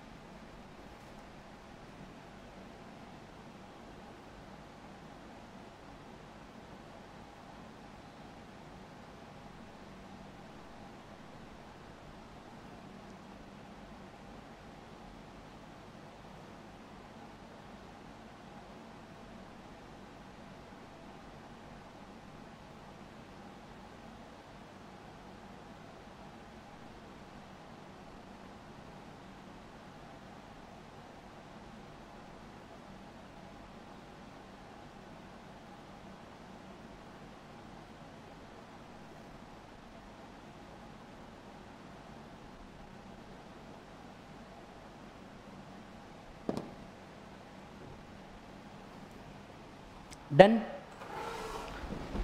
चलिए, आते हैं नेक्स्ट केस पे। श्रीमती रीठा सभापति वर्सेस डीसीआईटी पहली बात इंपॉर्टेंट कैटेगरी में या नॉट इंपॉर्टेंट कैटेगरी में? नॉट सो इंपॉर्टेंट कैटेगरी में। मेरे पास दो ही कैटेगरी है। या तो इंपॉर्टेंट या तो not so important not important वाली कोई कैटेगरी नहीं। आप सी ए फाइनल के अंदर में और सी ए फाइनल में नॉट इंपॉर्टेंट जैसा कुछ नहीं होता। अब तक आपको ये समझ में आ गया होगा डीटी का वास्ट सिलेबस देखते हुए। यहाँ पे नॉट इंपॉर्टेंट जैसा कुछ नहीं होता। कहने के लिए 298 सेक्शन है टेक्निकली देखा जाए तो मोर देन 758 सेक्शन है राइट सो आइए केस क्या था? केस कुछ अपीलेट ट्रिब्यूनल से रिलेटेड है और केस कुछ इस तरीके से है। जब भी अपील नोटिस देता है, कोई भी अथॉरिटी नोटिस देता है, उस नोटिस पे दिए हुए समय और दिए हुए टाइम पे आपको पहुँचना होता है। अगर आप नहीं पहुँचते तो इसे एक्स पार्टी ऑर्डर डिक्लेयर किया जाता है। आफ्टर मल्टीपल नोटिस एक बार में भी ऐसा नहीं होता। देखिए, मैं आपको बताता हूँ, एकदम प्रैक्टिकल राइफ सिंस मैं प्रैक्टिस में भी हूँ तो मैं आपको बता सकता हूँ ये पॉइंट होता ये है कि मान लीजिए मेरे को नोटिस आई। इस नोटिस पे अगर मैं नहीं जा पाया तो मैं बाद में जाता हूँ एओ के पास और मैं उसे कंडेम करता हूँ कि sorry sir I need condonation of delay मैं नहीं आ पाया because of the X X Y reason कोई प्रॉब्लम नहीं। आपको नेक्स्ट डेट दी जाती है। नेक्स्ट हियरिंग पे भी अगर आप नहीं आते और ऐसा कंटिन्यूस डिफ़ॉल्ट होता है तो आपको एक्स पार्टी डिक्लेयर किया जाता है। अब इस केस में क्या हुआ? इस केस में हुआ ये कि एक अपील फ़ाइल की गई थी अपीलेट ट्रिब्यूनल के सामने। ट्रिब्यूनल के सामने अपील फ़ाइल की। ट्रिब्यूनल ने कोई डेट और टाइम दिया होगा। उस टाइम पे असेसी वहाँ पे नहीं पहुँचता।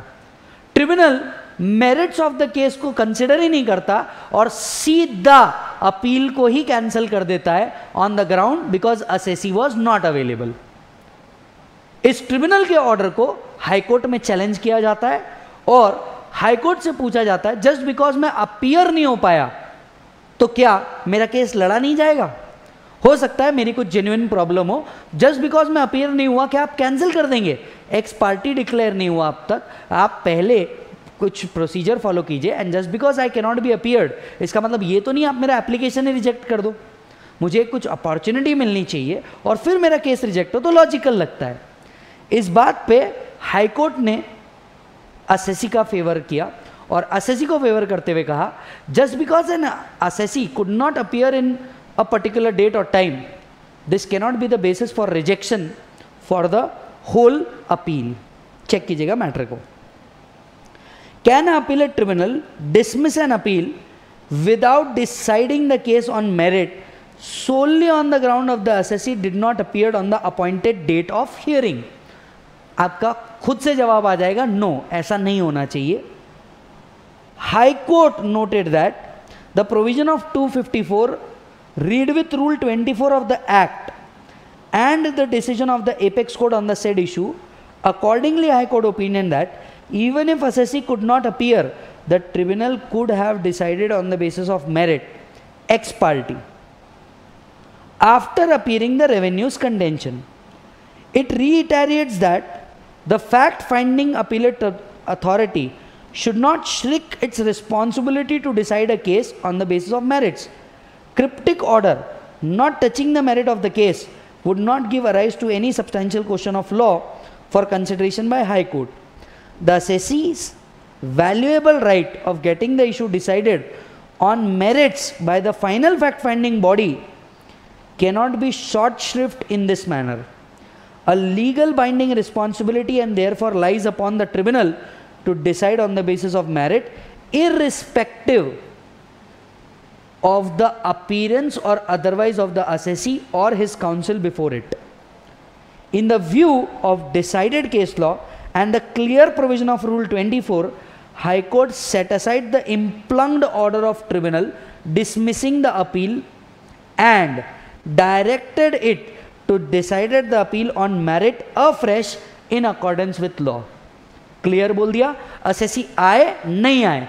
आप रेवेन्यू का पॉइंट सुन के, इसको एक्स पार्टी डिक्लेयर करके, जो भी आपका कंटेंशन था मेरिट्स ऑन द बेसिस के बेसिस पे आप केस डिसाइड कर सकते थे।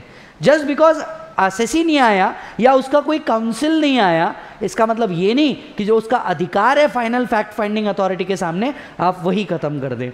सो हाईकोर्ट ने यहाँ पे ट्रिब्यूनल को बोला, वापस से पूरा मैटर कंसिडर करो और ये असेसी को हक मिलना चाहिए।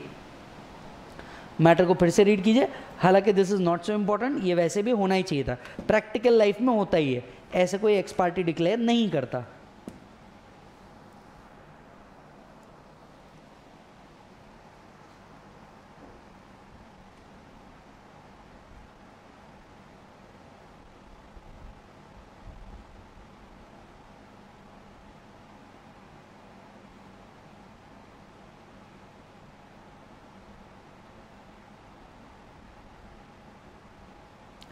डन। आगे आते हैं, sir.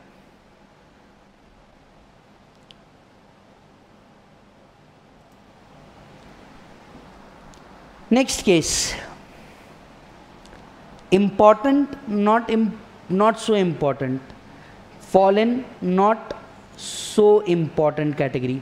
ये particular case law do fall in not so important category what is not so important case क्या था? मैं आपको केस समझा देता हूँ।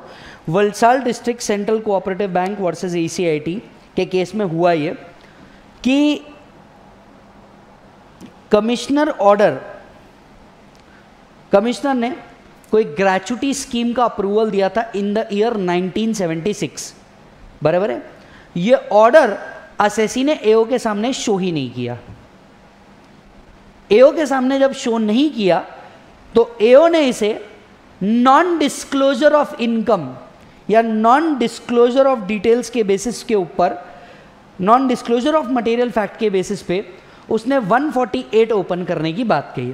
148 क्या है मैं आपको बता दूँ? री ओपनिंग ऑफ़ असेसमेंट या रीअसेसमेंट रीअसेसमेंट कब हो सकता है? जनरली रीअसेसमेंट हो सकता है on the matters where income has escaped assessment यहाँ पे एओ ने 148 ओपन का ग्राउंड क्या देखा? कि असेसी ने एक कमिश्नर का ऑर्डर नहीं दिखाया, जो कमिश्नर का ऑर्डर 1976 में पास हुआ था, वो इसने नहीं दिखाया। तो उसको लगा कुछ तो गड़बड़ है 148 ओपन करते हैं। असेसी ने इसके खिलाफ हाईकोर्ट चला गया और कहा कि, सर पॉइंट नंबर एक 1976 का ऑर्डर है, हम आज नहीं दिखा रहे, लेकिन हमारे और LIC के बीच में जो अग्रीमेंट हुआ है, हम आपको ये शो कर रहे हैं। कि ग्रेचुटी का जो ट्रस्ट है, वो एलआईसी हैंडल करेगा। और ये तभी हो सकता था जब कमिश्नर का अप्रूवल आया हो। हम आपको आज हमारा कॉन्ट्रैक्ट दिखा रहे हैं। दूसरी बात 1976 के बाद आज आपको याद आ रहा है क्या कि ऐसा कोई अग्रीमेंट देखना है? 2019 के अंदर में। 1976 से किसी भी एओ ने किसी भी असेसमेंट के अंदर में हमसे ये अग्रीमेंट नहीं मांगा। और अगर मांगा भी है तो हम उसके सामने सीधे ये कॉन्ट्रैक्ट दिखा रहे हैं। जस्ट बिकॉज़ हम 1976 का ऑर्डर आज आपको नहीं दिखा पा रहे, इसका मतलब ये तो नहीं है ना कि ये अनडिस्क्लोज इनकम है और आप हमारा 148 ओपन कर दें। 148 ओपन करने के लिए there should be some reasonable basis just because मैं एक ऑर्डर नहीं देखा पाया, जो खुद डिपार्टमेंट ने लिया है। और अगर ये ऑर्डर है, आपके डिपार्टमेंट ने ऑर्डर पास किया है। मेरा पैन नंबर डालिए या अदर डिटेल्स डालिए। 1976 में तो खैर पैन नहीं था। मेरी अदर डिटेल के हिसाब से आपके रिकॉर्ड में भी होना चाहिए ये। या कमिश्नर ने भी तो रिकॉर्ड मेंटेन किए होंगे, उनके इसमें होना चाहिए। Just because I cannot produce but उसके बदले में मैं आपको कॉन्ट्रैक्ट तो दिखा रहा हूँ, ये कॉन्ट्रैक्ट के बेसिस पे आप डिसाइड कर लीजिए। बात तो सही थी एसएससी की, कि 1976 का ऑर्डर अब तक आपने किसी असेसमेंट में नहीं मांगा और आप आज मांग रहे हैं। ये तो गलत है। और इसके बेसिस पे 148 ओपन होना, ये और भी गलत है। कोर्ट ने क्या कहा?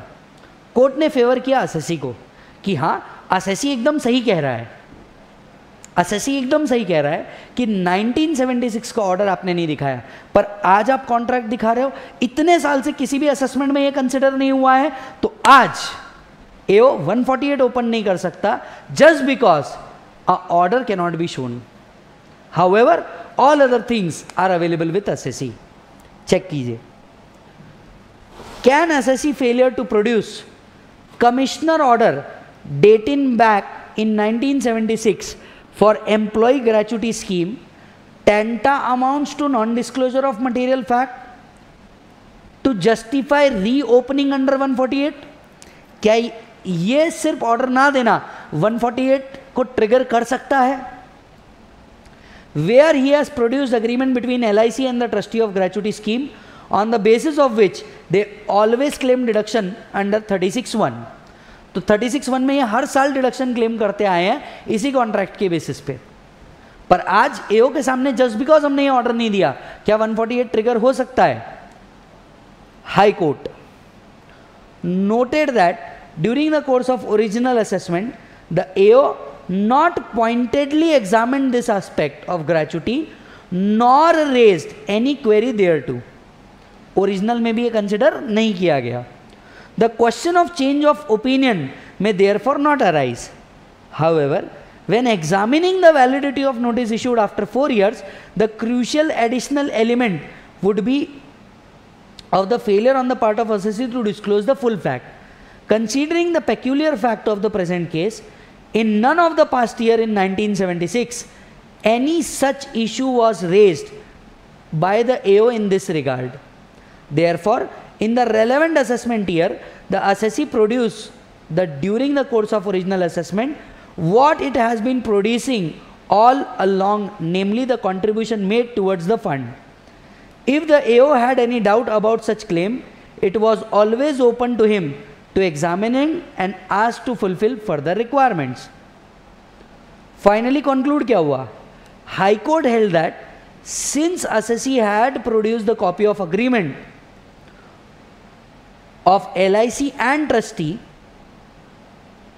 in line with the document produced in the assessment year, therefore, in the absence of failure on the part of assessee to disclose truly and factly all material fact under notice under 148 is not valid there may not be any change in opinion as may not have pointedly examined this case in the original assessment बात सीधी है कि जस्ट बिकॉज़ एक order produce नहीं कर पाए आप इसको 148 में ओपन नहीं कर सकते जबकि असेसी इतने सालों से क्या ले रहा है डिडक्शन लिए जा रहा है अंडर सेक्शन 36 जस्ट चेक कर लीजिए फटाफट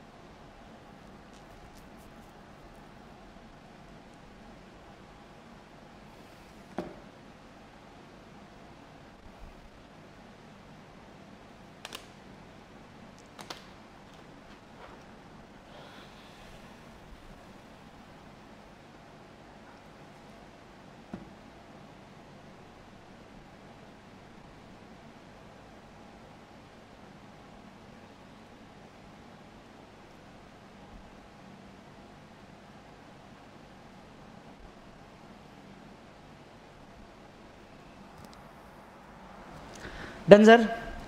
नेक्स्ट केस को मैं डालूँगा इंपॉर्टेंट की कैटेगरी में। C I T versus Eurotech maritime academy private limited 2019 related to section 271 C आइए पहले अलग अलग सेक्शन इस केस को डिस्कस करने से पहले अलग अलग सेक्शन में पहले आपको याद दिला देता हूँ डीटी के सबसे पहले यहाँ पे एक सेक्शन का रेफरेंस आ रहा है twelve double A twelve double A क्या है? रजिस्ट्रेशन ऑफ़ ट्रस्ट से रिलेटेड सेक्शन है। दूसरे सेक्शन की यहाँ पे बात चल रही है 271 सी ये क्या है? ये एक पेनल्टी रिलेटेड सेक्शन है सेक्शन 271 सी सेक्शन कहता है, अगर आपने टीडीएस बिलेटेडली डिडक्ट किया और बिलेटेडली डिपॉजिट किया तो आपको 271 सी का क्या लगेगा? पेनल्टी लग सकती है which is equal to 100 percent of the tax for non deduction और non deposit of tax 271 C 271 C कहता है कि आपको टीडीएस अगर आपने टाइम पर डिडक्ट नहीं किया या डिडक्ट किया पर डिपॉजिट नहीं किया तो 100 percent of the TDS deductible is the penalty तीसरा सेक्शन यहाँ पे चल रहा है टीडीएस डिडक्ट करना. किसके ऊपर? रेंट के ऊपर. मतलब यहाँ एक और सेक्शन आता है 194 आई 194 आए रेंट के ऊपर टीडीएस डिडक्ट करने की बात करता है. ये टीडीएस डिडक्ट करना होता है जब रेंट दो लाख चालीस हज़ार से ऊपर चल जाए। इंडिविजुअल एंड एच को इस सेक्शन में टीडीएस तभी डिडक्ट करना पड़ता है जब वो टैक्स ऑडिट के अंदर कवर्ड हो under 44 A B and in previous preceding year वो टैक्स ऑडिट के अंदर कवर्ड हो एंड एक्सीड द लिमिट हालाँकि अदर एसएससी के केस में टैक्स ऑडिट का कोई कंडीशन ही नहीं है। अगर वो लिमिट से एक्सीड कर रहे हैं तो उनको टीडीएस डिडक्ट करना होता है। मैं फिर से तीनों सेक्शन को रिकॉल कर देता हूँ। Twelve double A registration of trust की बात करता है। टू सेवेंटी वन सी बात करता है कि अगर आपने टीडीएस डिडक्ट नहीं किया या टीडीएस डिडक्ट तो किया डिपॉजिट नहीं किया तो फिर आपको टीडीएस यू नो पेनल्टी लग सकती है। सिंस रेंट पर टीडीएस की बात चल रही है मतलब 194 आए दो लाख चालीस हज़ार के ऊपर एनुअली अगर रेंट जा रहा होगा तो आपका टीडीएस डिडक्शन की बात होती है। और चौथा होता है 44 ए बी जो आपके टैक्स ऑडिट से रिलेटेड है। पाँचवें सेक्शन का यहाँ पे मेंशन है 273 बी 273 बी क्या है? 273 बी एक सेक्शन है जो कहता है, जो पेनल्टी इंपोज की गई है ट्रिब्यूनल इस पेनल्टी को रिजेक्ट कर सकता है। जो लोअर अथॉरिटी ने पेनल्टी लगाई होगी ट्रिब्यूनल इस पेनल्टी को रिजेक्ट कर सकता है इन सर्टन केसेस जो 273 में मेंशन होंगे। हालाँकि आपको 273 बी के डिटेल्स में जाने की ज़रूरत नहीं है, सिर्फ़ इतना लिख दीजिए 273 बी को एरो करके penalty not to be impose if there is a reasonable cause penalty not to be impose if there is a reasonable cause done अब केस में हुआ क्या? केस में हुआ कुछ इस तरीके से कि ट्रस्ट ने टीडीएस डिडक्ट बीलेटेडली किया किया बीलेटेडली किया और डिपॉजिट ऑब्वियसली उसने बीलेटेडली किया। डिडक्ट नहीं करने पे, समय पे डिडक्ट नहीं करने पे 271 सी आना चाहिए था। 271 सी लगा दिया गया। इसके अगेंस्ट में मैटर गया ट्रिब्यूनल के पास। ट्रिब्यूनल ने 273 बी लगा करके जो पेनल्टी लगी है, इसे रिजेक्ट कर दिया। मैटर अराइज हुआ कि सर, क्या इसके ऊपर 273 बी लग सकता है? क्या ट्रिब्यूनल मैटर को हटा सकता है पेनल्टी को हटा सकता है? Where the strictly section 271 C is अगर आपने टीडीएस डिडक्ट नहीं किया या डिपॉजिट नहीं किया तो 271 सी लगना चाहिए। कोर्ट ने इस बात को कंसिडर करते हुए कोर्ट ने इस बात को कंसिडर करते हुए क्लियर कर दिया कि 271 सी जो लगा है, ये एकदम अप्रोप्रिएट है। 271 सी जो लगा है, ये एकदम अप्रोप्रिएट है। और इस केस में खुद ट्रिब्यूनल भी 271 273 बी को कंसिडर नहीं कर सकता। चेक कीजिए। Assessee being a trust under section 12 A paid the rent for building occupied. AO found that TDS was deposited belatedly and imposed the penalty under 271C equal to amount of tax payable. It was also noticed that payment were made piecemeal throughout the year and not during the month of payment were made. Assessee contended that it is not obliged to conduct audit under 44AB. The first appellate authority, however, rejected the trust contention and confirmed the penalty order by the AO. Tribunal deleted the penalty on the ground that the assessee has a reasonable clause within the meaning under 273B and reversed the order. पहला part आपको सिर्फ़ ये बता रहा है कि trust को 44 ए भी लागू नहीं होता और उसको टीडीएस डिडक्ट करना ही था irrespective of whether it is covered in tax audit और नॉट दूसरा पार्ट यहाँ से ज़्यादा काम का है।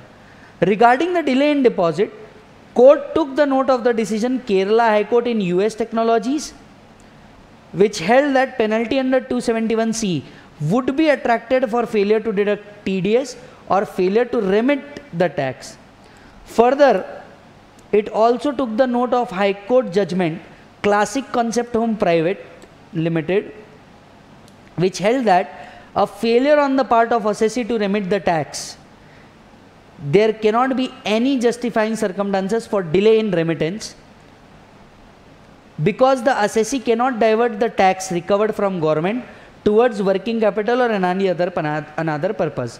Thus, the defense available under 273B does not cover the failure in payment of recovered tax. Technically 273 कहता है अगर रीजनेबल कॉज है तो फिर उस केस में रीजनेबल कॉज है तो उस केस में ही 273 बी के हिसाब से ट्रिब्यूनल आपकी पेनल्टी ऑर्डर को रोक सकता था। हालाँकि पेमेंट आप कर रहे हो पेमेंट करते वक्त ही आपको टीडीएस डिडक्ट कर लेना है। ये पेमेंट तो आपके पास ही है। इसको गवर्नमेंट देने में क्या रीजनेबल प्रॉब्लम है आपको? जो आपके पास ही पैसा है आप इसको गवर्नमेंट को देने में क्या प्रॉब्लम है? ये पेमेंट आपको सामने वाले को करना था, बस उसमें से आपने डिडक्ट किया, अब गवर्नमेंट को आपको पे करना है। इसमें तो डिले होना ही नहीं चाहिए था। आपने डिले कर दिया। आपको 271 सी का तो लगना ही लगना है payment conclusion accordingly high court held that assessee is liable to pay penalty under 271c for both non deduction of TDS and non remittance of TDS in this particular case साथ ही साथ में मैंने यहाँ पे एक नोट लिख के रखा हुआ है, जो रेफर करता है 276 बी को भी। ये भी आप एक बार फटाफट रीड कीजिए, जो कहता है कि 276 बी भी अट्रैक्ट होता है प्रोसिक्यूशन अगर आपने टीडीएस काट के रेमिट नहीं किया तो प्रोसिक्यूशन अट्रैक्ट होता है 276 बी के अंदर में। वो एक बार आप देख लीजिए, जो रिगरस इम्प्रेजनमेंट बोलता है for not less than three months but may extend to seven years please एक बार बस गो थ्रू कर लीजिए।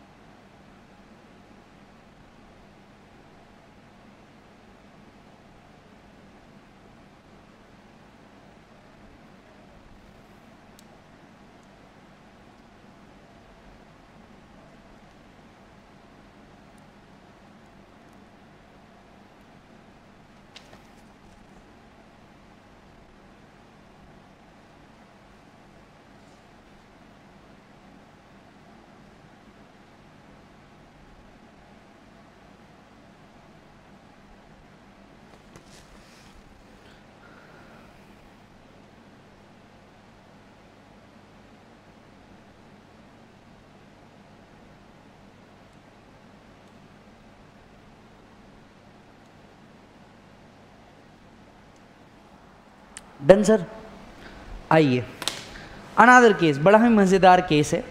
हालाँकि ऑलमोस्ट जितने भी बच्चों ने मेरे साथ क्लास किया होगा, चाहे वो सुपर थर्टी फाइव हो या रेगुलर बैच हो, आप इसका एक मिनट में जवाब दे पाएँगे, मैं श्योर हूँ इस बात पे।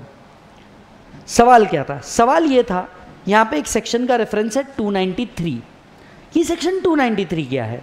देखिए सेक्शन 293 एक ऐसी चीज़ है, जो डिपार्टमेंट को बहुत बड़ा डिफेंस है। डिफेंस है मतलब क्या? डिपार्टमेंट इससे बहुत ज़्यादा बच जाता है। जनरली कोई भी सिविल सूट डिपार्टमेंट के अगेंस्ट में फ़ाइल नहीं किया जा सकता था। ये प्रोविज़न 293 के अंदर में दी हुई है। कोई भी सिविल सूट किसके अगेंस्ट में फ़ाइल नहीं किया जा सकता? इनकम टैक्स अथॉरिटी के किसी भी व्यक्ति के अगेंस्ट में नहीं किया जा सकता। If he is doing his duty and he is doing his duty with a good intention for example मैं अगर किसी का, मैं एओ हूँ और मैं किसी का टैक्स कैलकुलेशन निकाल देता हूँ तो मेरे ऊपर कोई सिविल सूट फ़ाइल नहीं हो सकता। अगर उस असेसी को केस करना भी है तो डिपार्टमेंट के अगेंस्ट में अपीलेट अथॉरिटी में जाना होगा। मेरे अगेंस्ट में नहीं आ सकेगा कोई civil suit I am just doing my duty on behalf of my department in a good faith clear 293 now, what was the issue issue was very good, right? High court के पास कोई मैटर आया। Matter के अंदर में उन्होंने क्या किया? देखा कि एओ से कुछ एरर हो गया होगा। There was on the part there was an error on the part of AO high court ने ऑर्डर में लिख के दे दिया file a civil suit against him उस व्यक्ति जिसने गलत किया है डिपार्टमेंट में, उसके खिलाफ आप सिविल सूट फ़ाइल कीजिए। हालाँकि हाईकोर्ट कंप्लीटली भूल गया सेक्शन 293 के हिसाब से, किसी भी ऑफिसर के ऊपर केस नहीं हो सकता। He is just acting on behalf of department तो किसी ऑफिसर के ऊपर केस नहीं हो सकता था। हाईकोर्ट ये भूल गया। बाद में हाईकोर्ट को ध्यान में आया ओ माय गॉड सेक्शन 293 कहता है कि डिपार्टमेंट के किसी ऑफिसर के ऊपर तो केस फ़ाइल नहीं हो सकता। वो तो डिपार्टमेंट की बिहाफ पे वर्क कर रहा है तो सिविल सूट तो फ़ाइल हो ही नहीं सकता। और हाईकोर्ट ने अपना ऑर्डर को रिव्यू और रिकॉल करने की बात की। एक सवाल खड़ा हुआ, क्या हाईकोर्ट रिव्यू और रिकॉल कर सकता है? याद होगा तो मैंने असेसमेंट प्रोसीजर में बहुत पहले ही ये क्लियर किया हुआ है कि हाईकोर्ट रिव्यू भी कर सकता है रिकॉल भी कर सकता है। आई रिपीट हाईकोर्ट रिव्यू भी कर सकता है रिकॉल भी कर सकता है, बिल्कुल कर सकता है। तो जवाब मेरा बच्चा वैसे भी दे देगा हाईकोर्ट रिव्यू भी कर सकता है रिकॉल भी कर सकता है। रही बात 293 के तहत रिव्यू या रिकॉल पॉसिबल है क्या? सर जब 293 कंप्लीट बैन लगाता है, किसके ऊपर कि आप कभी भी डिपार्टमेंट के किसी आदमी के ऊपर केस नहीं कर सकते because he is acting in good faith on behalf of department hence high court को अपने इस ऑर्डर को वापस लेकर के एरर या मिस्टेक अपीरेंट को सीधा करना ही होगा. Hence high court is justified in reviewing in this case ये सुप्रीम कोर्ट का जजमेंट आ गया। सो so, अब पॉइंट बिल्कुल क्लियर है। हाईकोर्ट रिव्यू भी कर सकता है रिकॉल भी कर सकता है।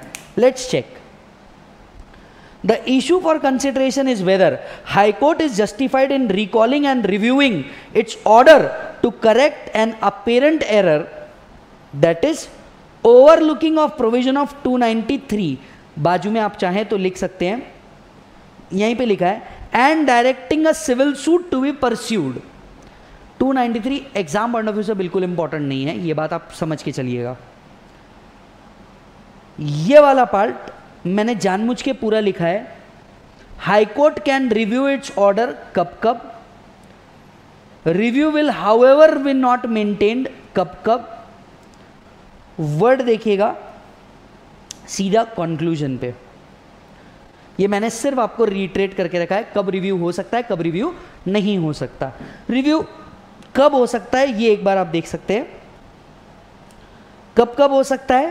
पहला discovery of new and important matter which was not within the knowledge mistake apparent from record और any other sufficient reason the supreme court held that section 293 puts a complete bar on filing the suit in any civil court against the income tax authority. If the civil suit was not maintainable in view of 293 and this was purported defense of the respondent and of the department, there was no error committed by High Court in its judgment rendered in exercise of review jurisdiction calling for interference. तो यहाँ पे उन्होंने clear कर दिया high court अपना order review कर सकता है because there is a mistake apparent from record 293 एक कंप्लीट बैन है कि इनकम टैक्स डिपार्टमेंट के अगेंस्ट में, उसके ऑफिसर के अगेंस्ट में कोई सिविल सूट फ़ाइल नहीं हो सकता। बस एक बार फटाफट देख लीजिए।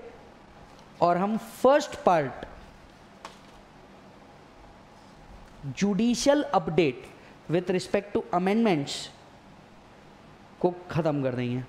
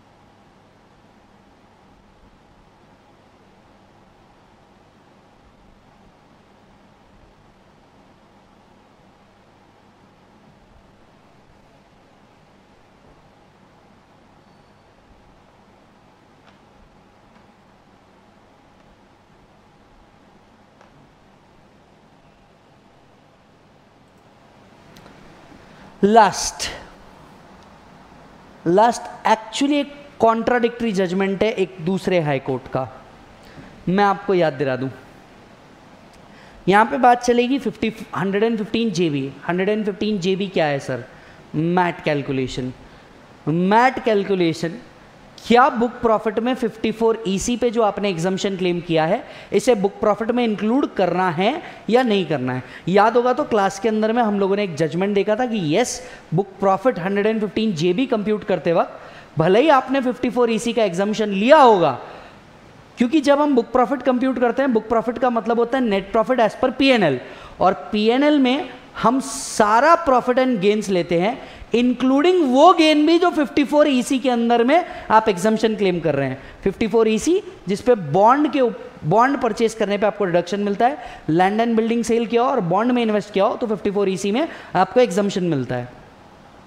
Now question arises is whether 54 EC is to be taken for the purpose of MAT calculation और नॉट इस पे एक केस हम लोगों ने ऑलरेडी देखा है, जो कहता था कि आपको 54 ईसी वाला भी कंप्यूटेशन में लेना पड़ेगा for the purpose of MAT एक कॉन्ट्राडिक्टरी जजमेंट यहाँ दिखा एक अनादर हाईकोर्ट द्वारा CIT versus metal and chromium platers private limited के केस में, जहाँ पे कहा गया कि आपको इसे कंसिडर नहीं करना है for the purpose of MAT calculation अब हम क्या करें?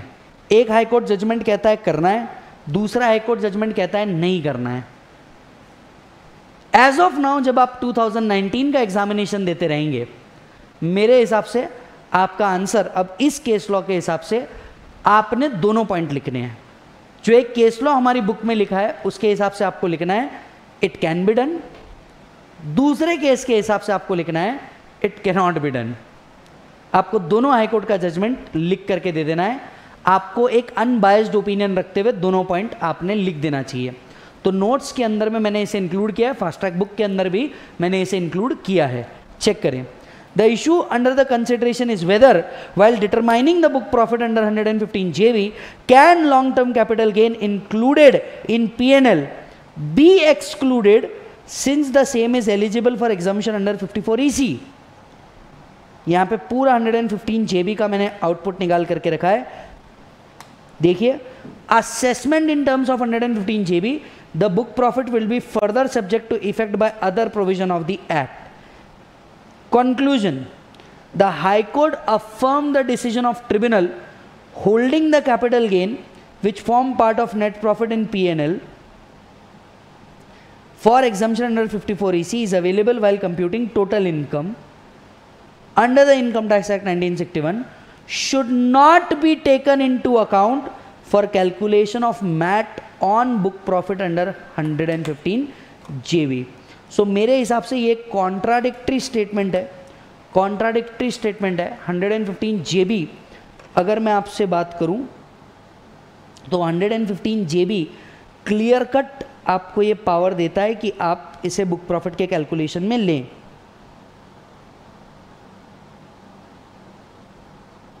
Just a minute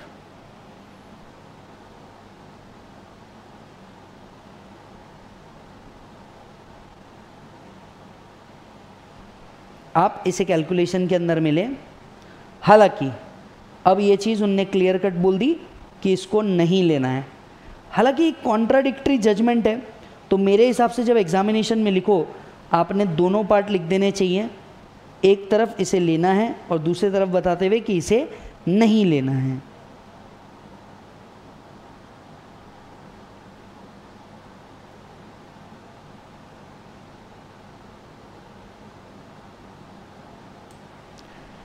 is this done तो वो एक बार आप चेक कर लीजिएगा। और इसी के साथ हमारा जुडिशियल जजमेंट्स जो दिए गए हैं for the purpose of may twenty ये ओवर होता है।